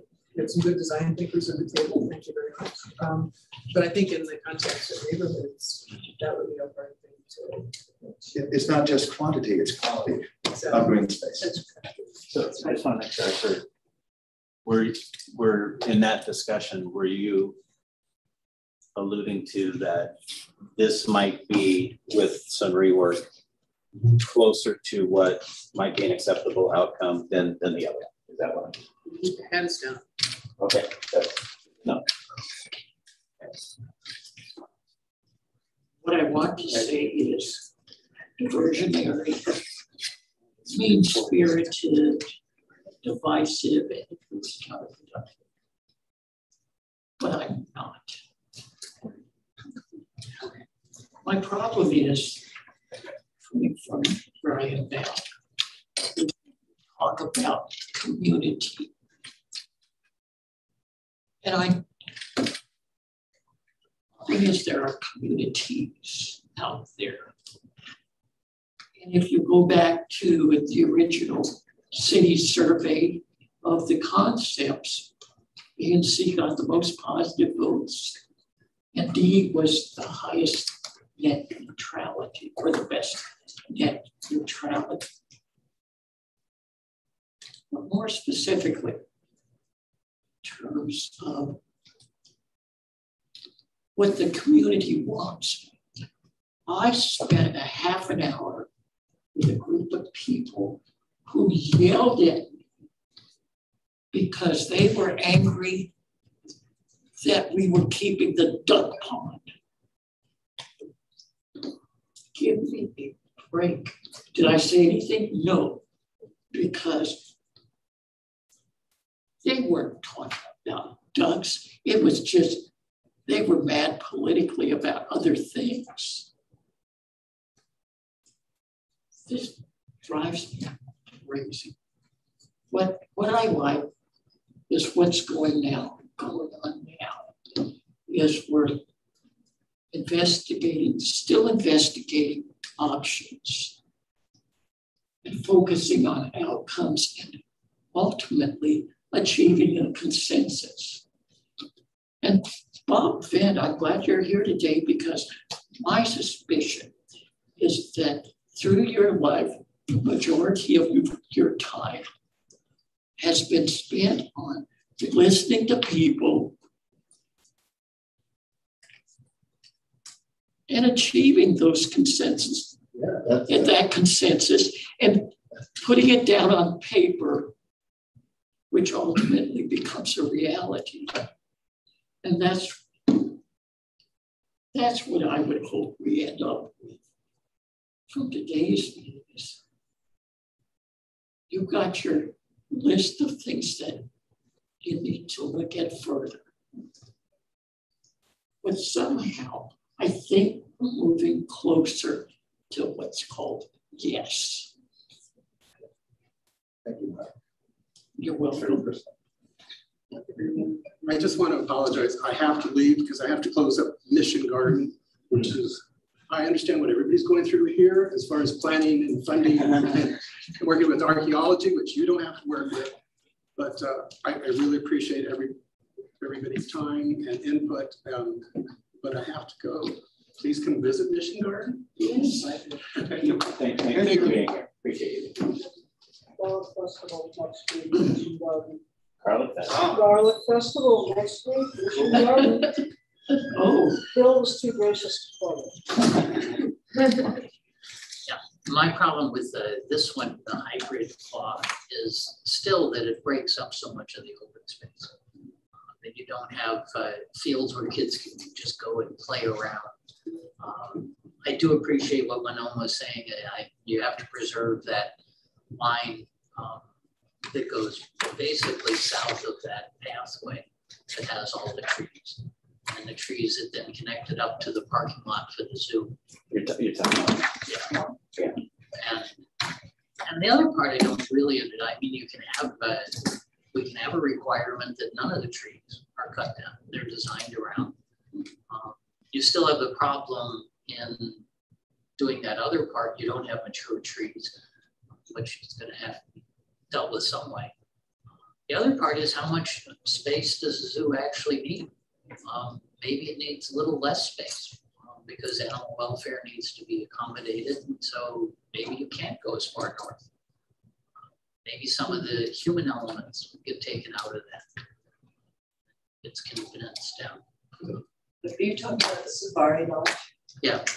Yeah. That's a phase two. I'd also note uh, uh, on, on this one here, uh, if this generally meets animal welfare needs, uh, as noted earlier by myself and Bob Vint, looking at uh, uh, keeping some storage and access lane to the practice fields on the north tier, that that certainly G minor could be could be reworked to, to meet the distance that you're showing there from the uh, ball field. Uh, uh, that would uh, require cutting more into some parking area, but uh, uh, that the design alone is showing a fair amount of green space to the east and southeast that could be used for the expansion that would be further from the ball field than the closest point on that purple space. So so if we're if we can get down to parameters, we're we're, we're uh, dealing with uh, uh, exactly what spatiality is is needed. Then then it's possible to maybe uh, encroach further into the parking area at the west to the west, and then figure out how to handle parking needs. But uh, you know. Uh, I mean, certainly that purple area there, if, it, if that generally meets animal welfare needs, then then certainly uh, uh, it's within it, it, at least uh, some kind of striking distance of a redesign that creates a little bit more buffer between the zoo expansion area and the fence of the ball field. So I just want to make sure I'm hearing you um, and, and clarifying the habitat areas in this configuration are toward the west. The more human elements, which we can you know, for, for discussion is up here. What I'm hearing you say is, and I think I'm hearing, the current green space is more valuable than future green space, even if it's more. I don't know how I feel about that, but that's what I'm hearing. But a shifting this footprint in order to, um, right now it takes, you know, shifting this footprint so that it better preserves this lake shore, the lake front? No, no, maybe I should just say it rather than Go ahead. characterize what I'm saying. I- What I'm saying is taking G minor, but reworking G minor uh, perhaps to go west into some of those parking spaces and and uh, further uh, and, and bring the top boundary further to the south so it would be more equivalent to to the purple space in in this rendering here. I'm not talking about reworking this rendering, but just looking at the distance from the ball field they, that that your own document says generally meets animal welfare and trying to work within that G rework G minor within that parameter. Okay, so reflecting that back to you is here's where the habitat relative to G minor, here's where the habitat meets animal welfare. Right? Here's where the habitat doesn't. If it's preferable. No, here's where it does according to your own. As I've said a number of times, the habitat's here. Right? The habitat is here. That's not the habitat. It's inside the zoo. The habitat is here. Right. I think what Mark is saying, let me see if I understand it. I think what Mark is saying is take that critical tiger habitat. Instead of here, it's here. You shift it east. Because originally we were trying to preserve this parking area. We're saying, all right, lose all that parking, that's habitat. Save all of this, pull this down, do a service loop with storage. Your human activities can go up here. But I would need to, actually, a friend of mine is Tom Spendarian, he's an architect. He's a business partner with Mark Naselli, the acoustic one. Mm-hmm. He's got a decibel meter. Get Hi Corbett to fire up their PA sometime. Measure the decibels here, measure the decibels here, measure the decibels here, see what they really are. And then we, we're not guessing whether this is a better habitat than this, we would actually have it. yeah. So, and uh, Tom's a friend of mine. I bet I could get him to do that free of charge. And then we'd have some facts. So we heard that more investigation on the animal welfare is necessary. Yeah. We understand that. We're with you. Saying we don't have facts now is where I would maybe well, argue. We don't have we, measurements. So there we go. Having said that, if there's a sweet spot, if you will, somewhere between here and here, and I don't care which footprint we start with, that meets all of the criteria, which this footprint does not. This footprint from some of the criteria may be closer, but if it's, and then the other one, which I gave all check marks to, but that's okay.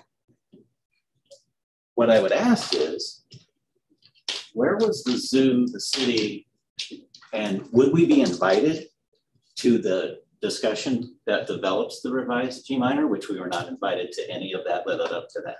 Oh, yeah. Sure.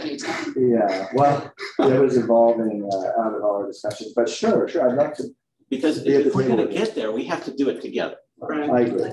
And then and that was the point of this. Sure, sure. Well, I guess our point was we were kind of hoping to hear from you over the last two months and didn't. And uh, that's right. I've been super busy running my office and meeting deadlines and having a life, and I was hoping to hear from you, and I was glad to finally hear from you. But we weren't part of developing this. Now I think I like your idea of this kind of bike pad overpass, and I agree that could be a really cool structure. That could be like you know three big arches and planted like the High Line in New York. You know what I'm saying? Make it, make it a uh, make it a happening. You know, make it a a feature. And, Nancy was, you were into that. You, you were saying there's, you've seen zoos that have bridges, and they actually kind of interesting. It, it adds that vertical element.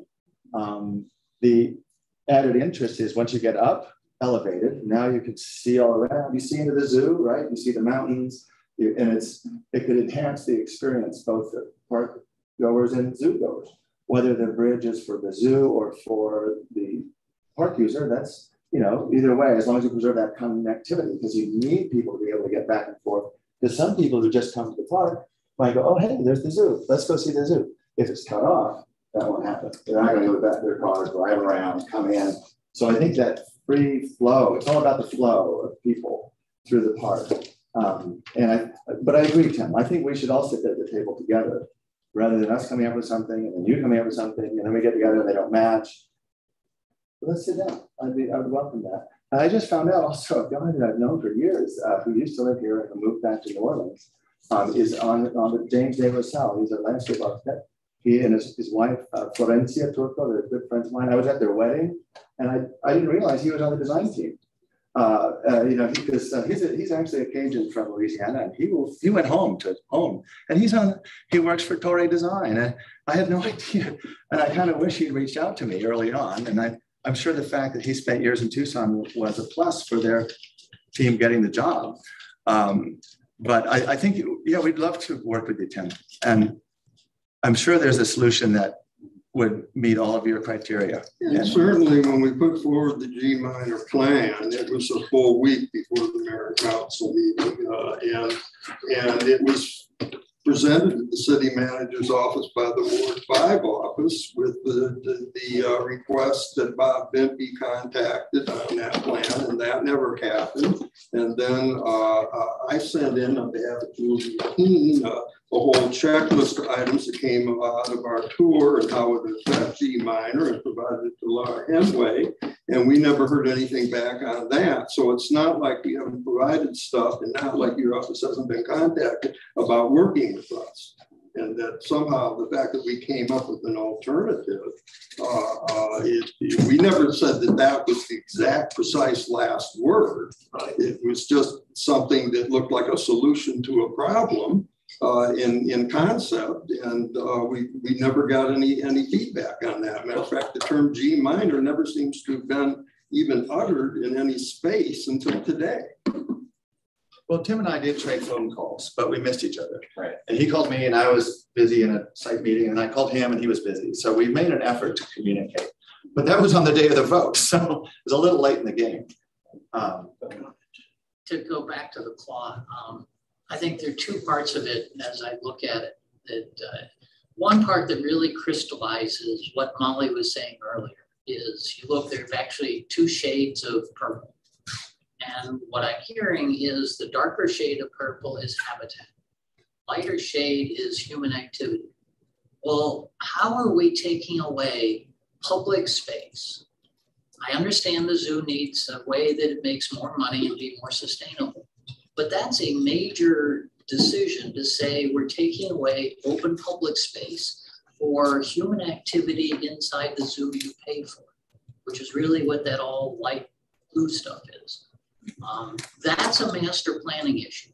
You're closing off the access of Lakeshore Drive. That's a master planning issue. I don't see how um, you can do the claw without doing the master planning and addressing, do we really want to trade um, open space for all of everybody who's around here for zoo space that is for human activities that makes money.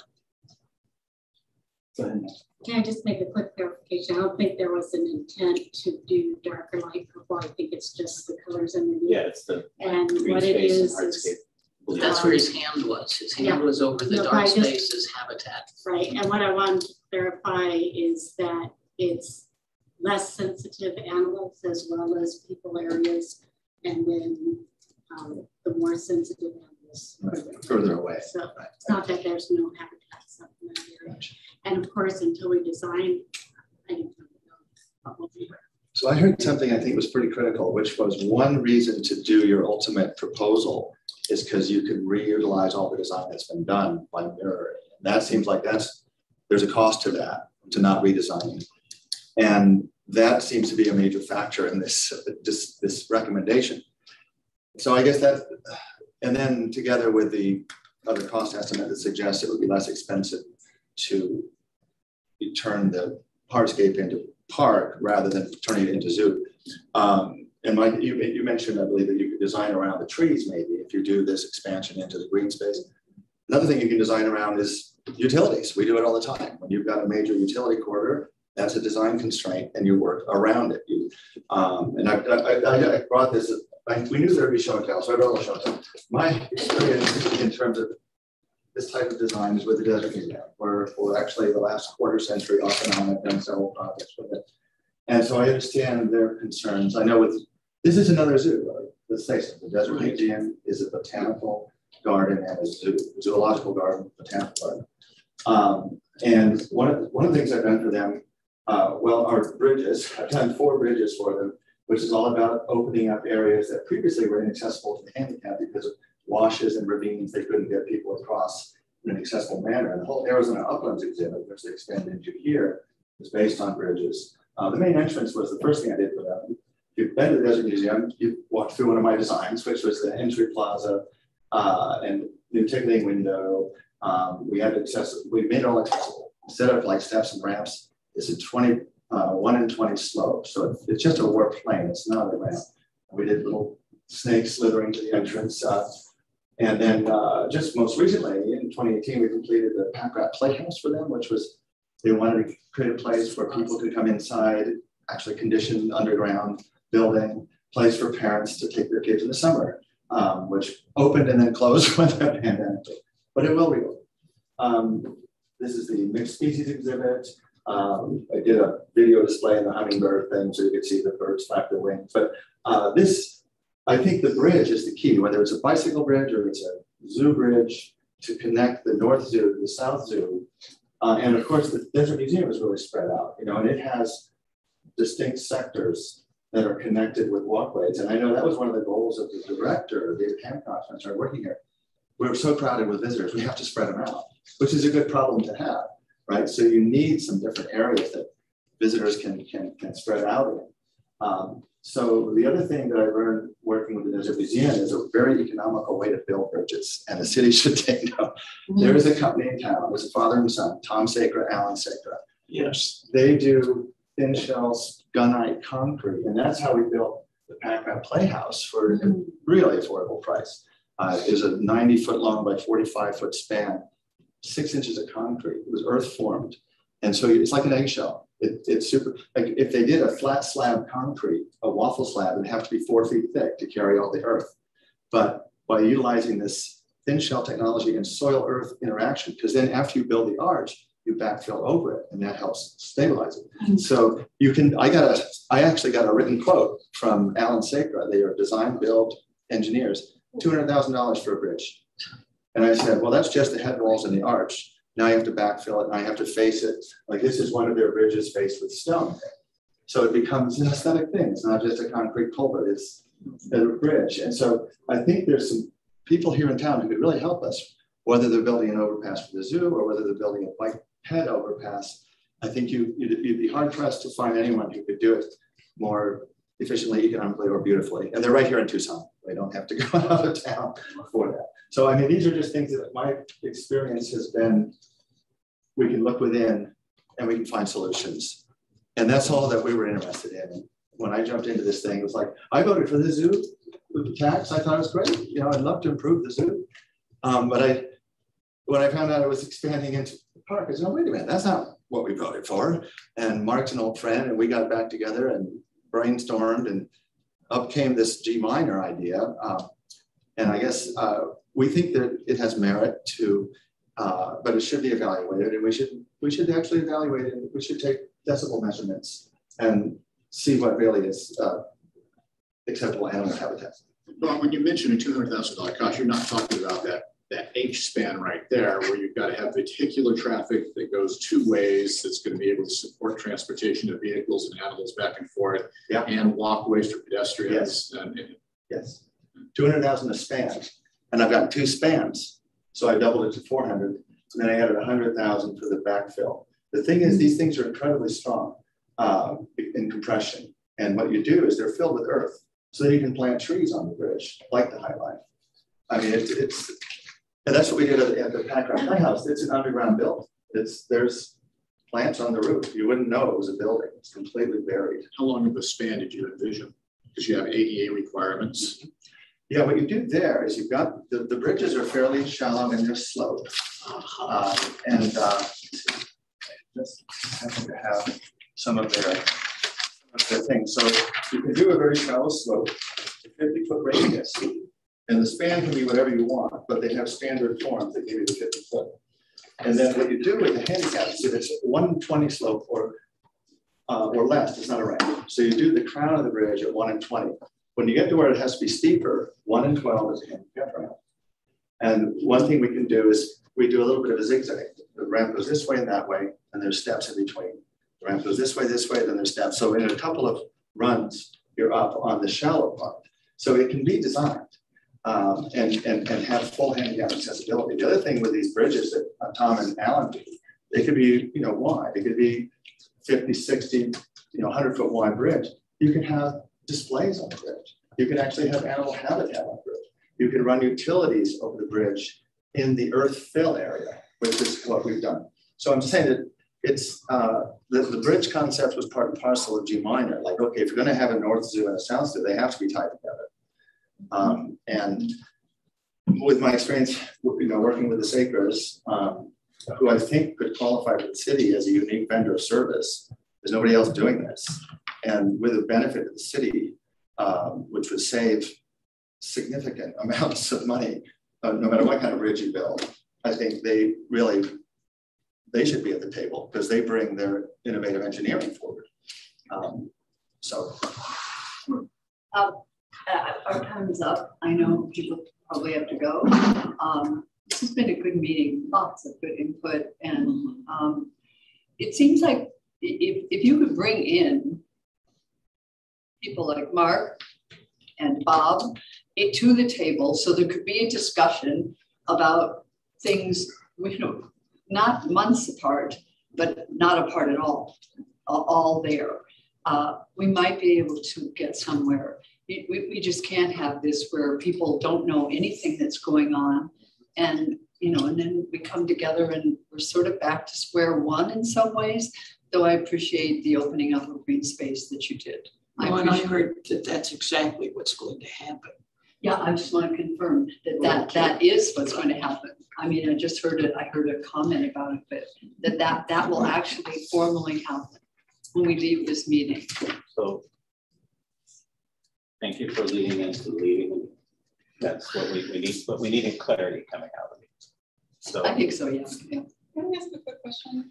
I just want to go back to the PA and animal welfare. Um, the school next to me put in a PA system that became quite loud.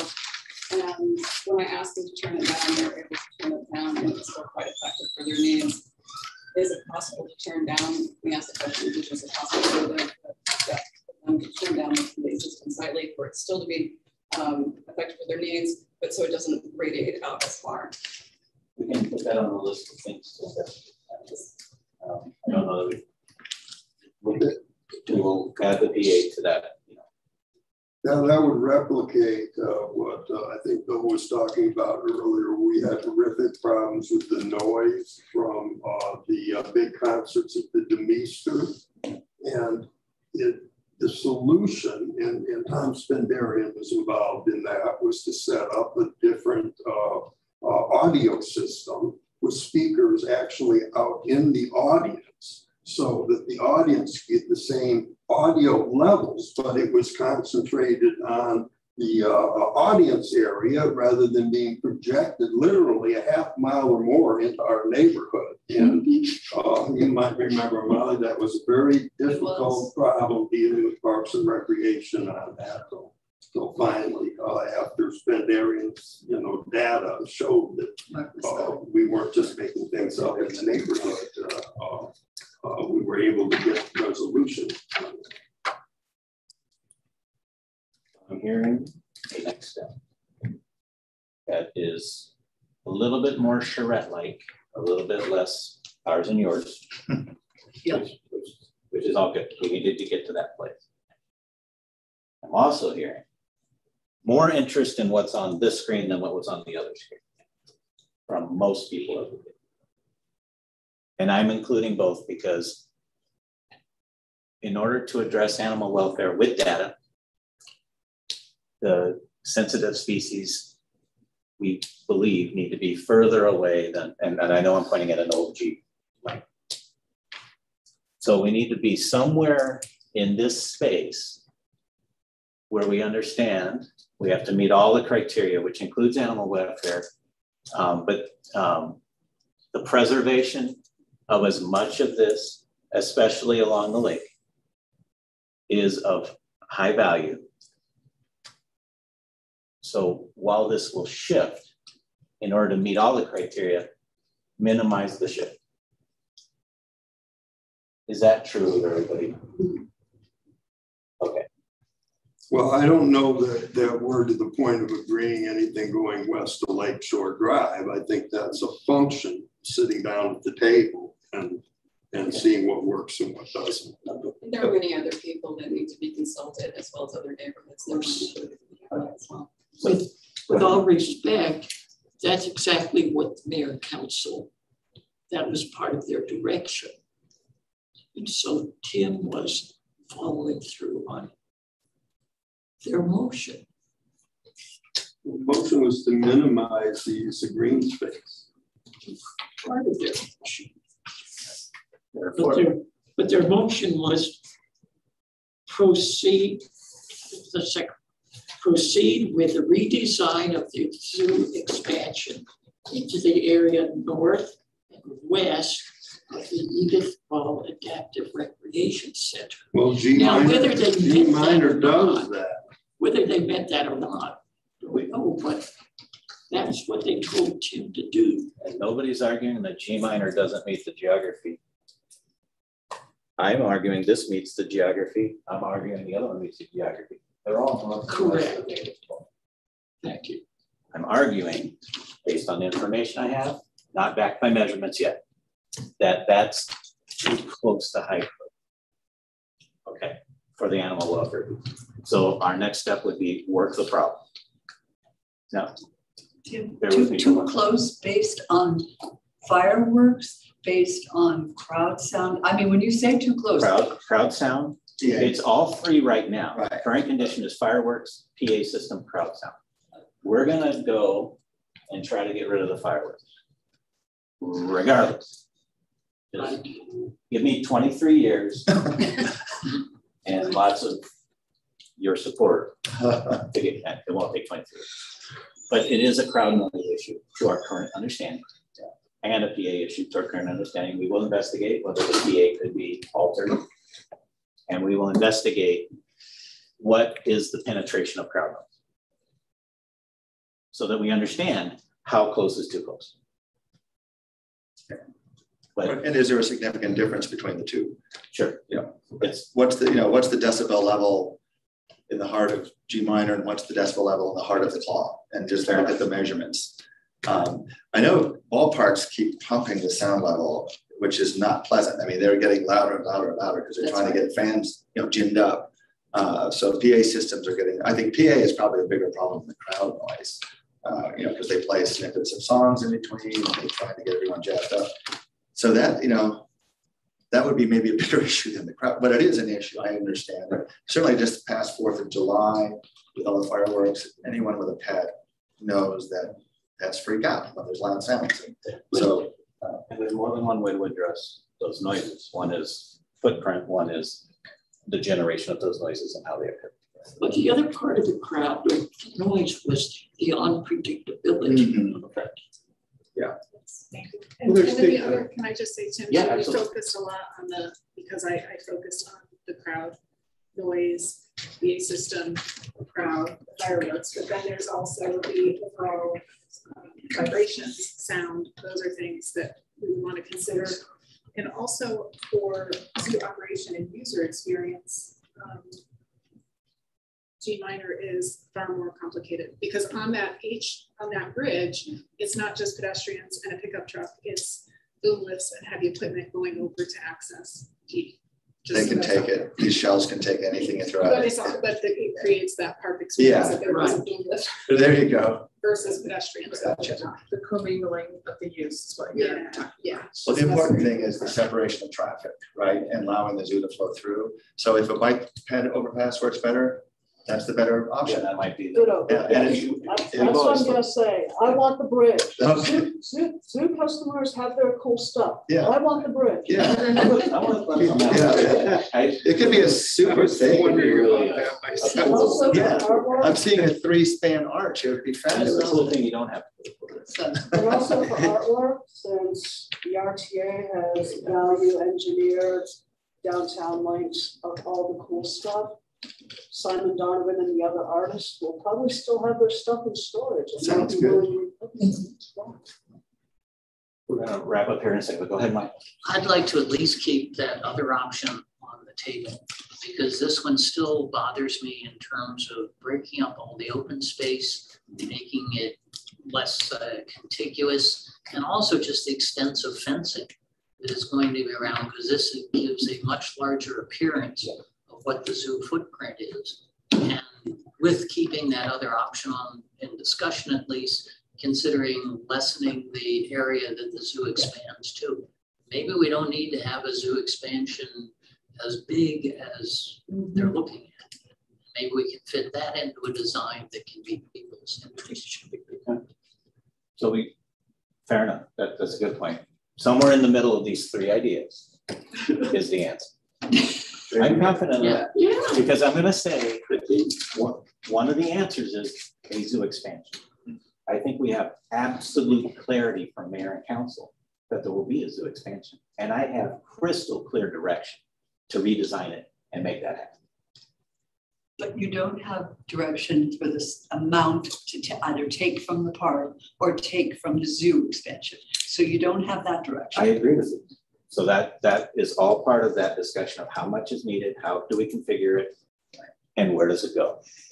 And then in all of these, the, the goal, and I think the thinking was preserving a great zoo experience and preserving a great park experience. And we might have some spectrum of what people think that means. Yeah, no, there's got to be a compromise. That's the nature of reaching consensus. Well, G minor in itself is a Exactly. compromise. I Yeah. mean, this, this moving the goalpost kind of thing, I'm not again saying that it has to specifically be G minor in this No. discussion, but the Yeah. idea that G minor is the starting point and then you compromise from that. Well, then it evolves and it takes on its own life. Every design does that. There comes a point when the design just goes where it wants to go. I think the key thing is connectivity, Yeah. to maintain connectivity for the park and bringing people through Zoo Plaza and also around the ponds at Barnum Hill. Um, so I agree with you, Tim. There is a solution here and we're getting closer to it. So thanks for organizing this. And I'll just echo that thought as well, that um, everybody's brought a lot of good thoughts to the table. Um, It, it takes time to work this out, and I know at the stakeholders group, it, we, we made progress at time, and we just look forward to um, being a part of making it a great experience for zoo guests, animal welfare, and park guests, um, not in that order. I'll take that. Thank you. I would, I would like to just end with saying one thing. Um, Mark mentioned something about uh, D being the most net neutral. Um, we, we didn't really agree with the way that this uh, whole survey was done and the way it was loaded to push the net neutrality towards D.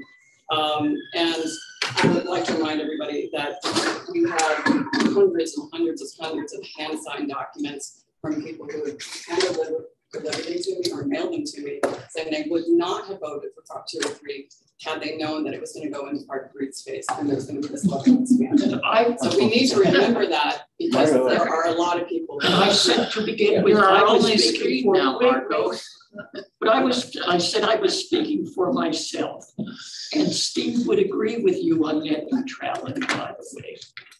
Just, just to be aware for our Zoom users, quick check in with Star and Margot before we wrap up. I think we've got it, you guys. All right. Bye. Okay, bye-bye.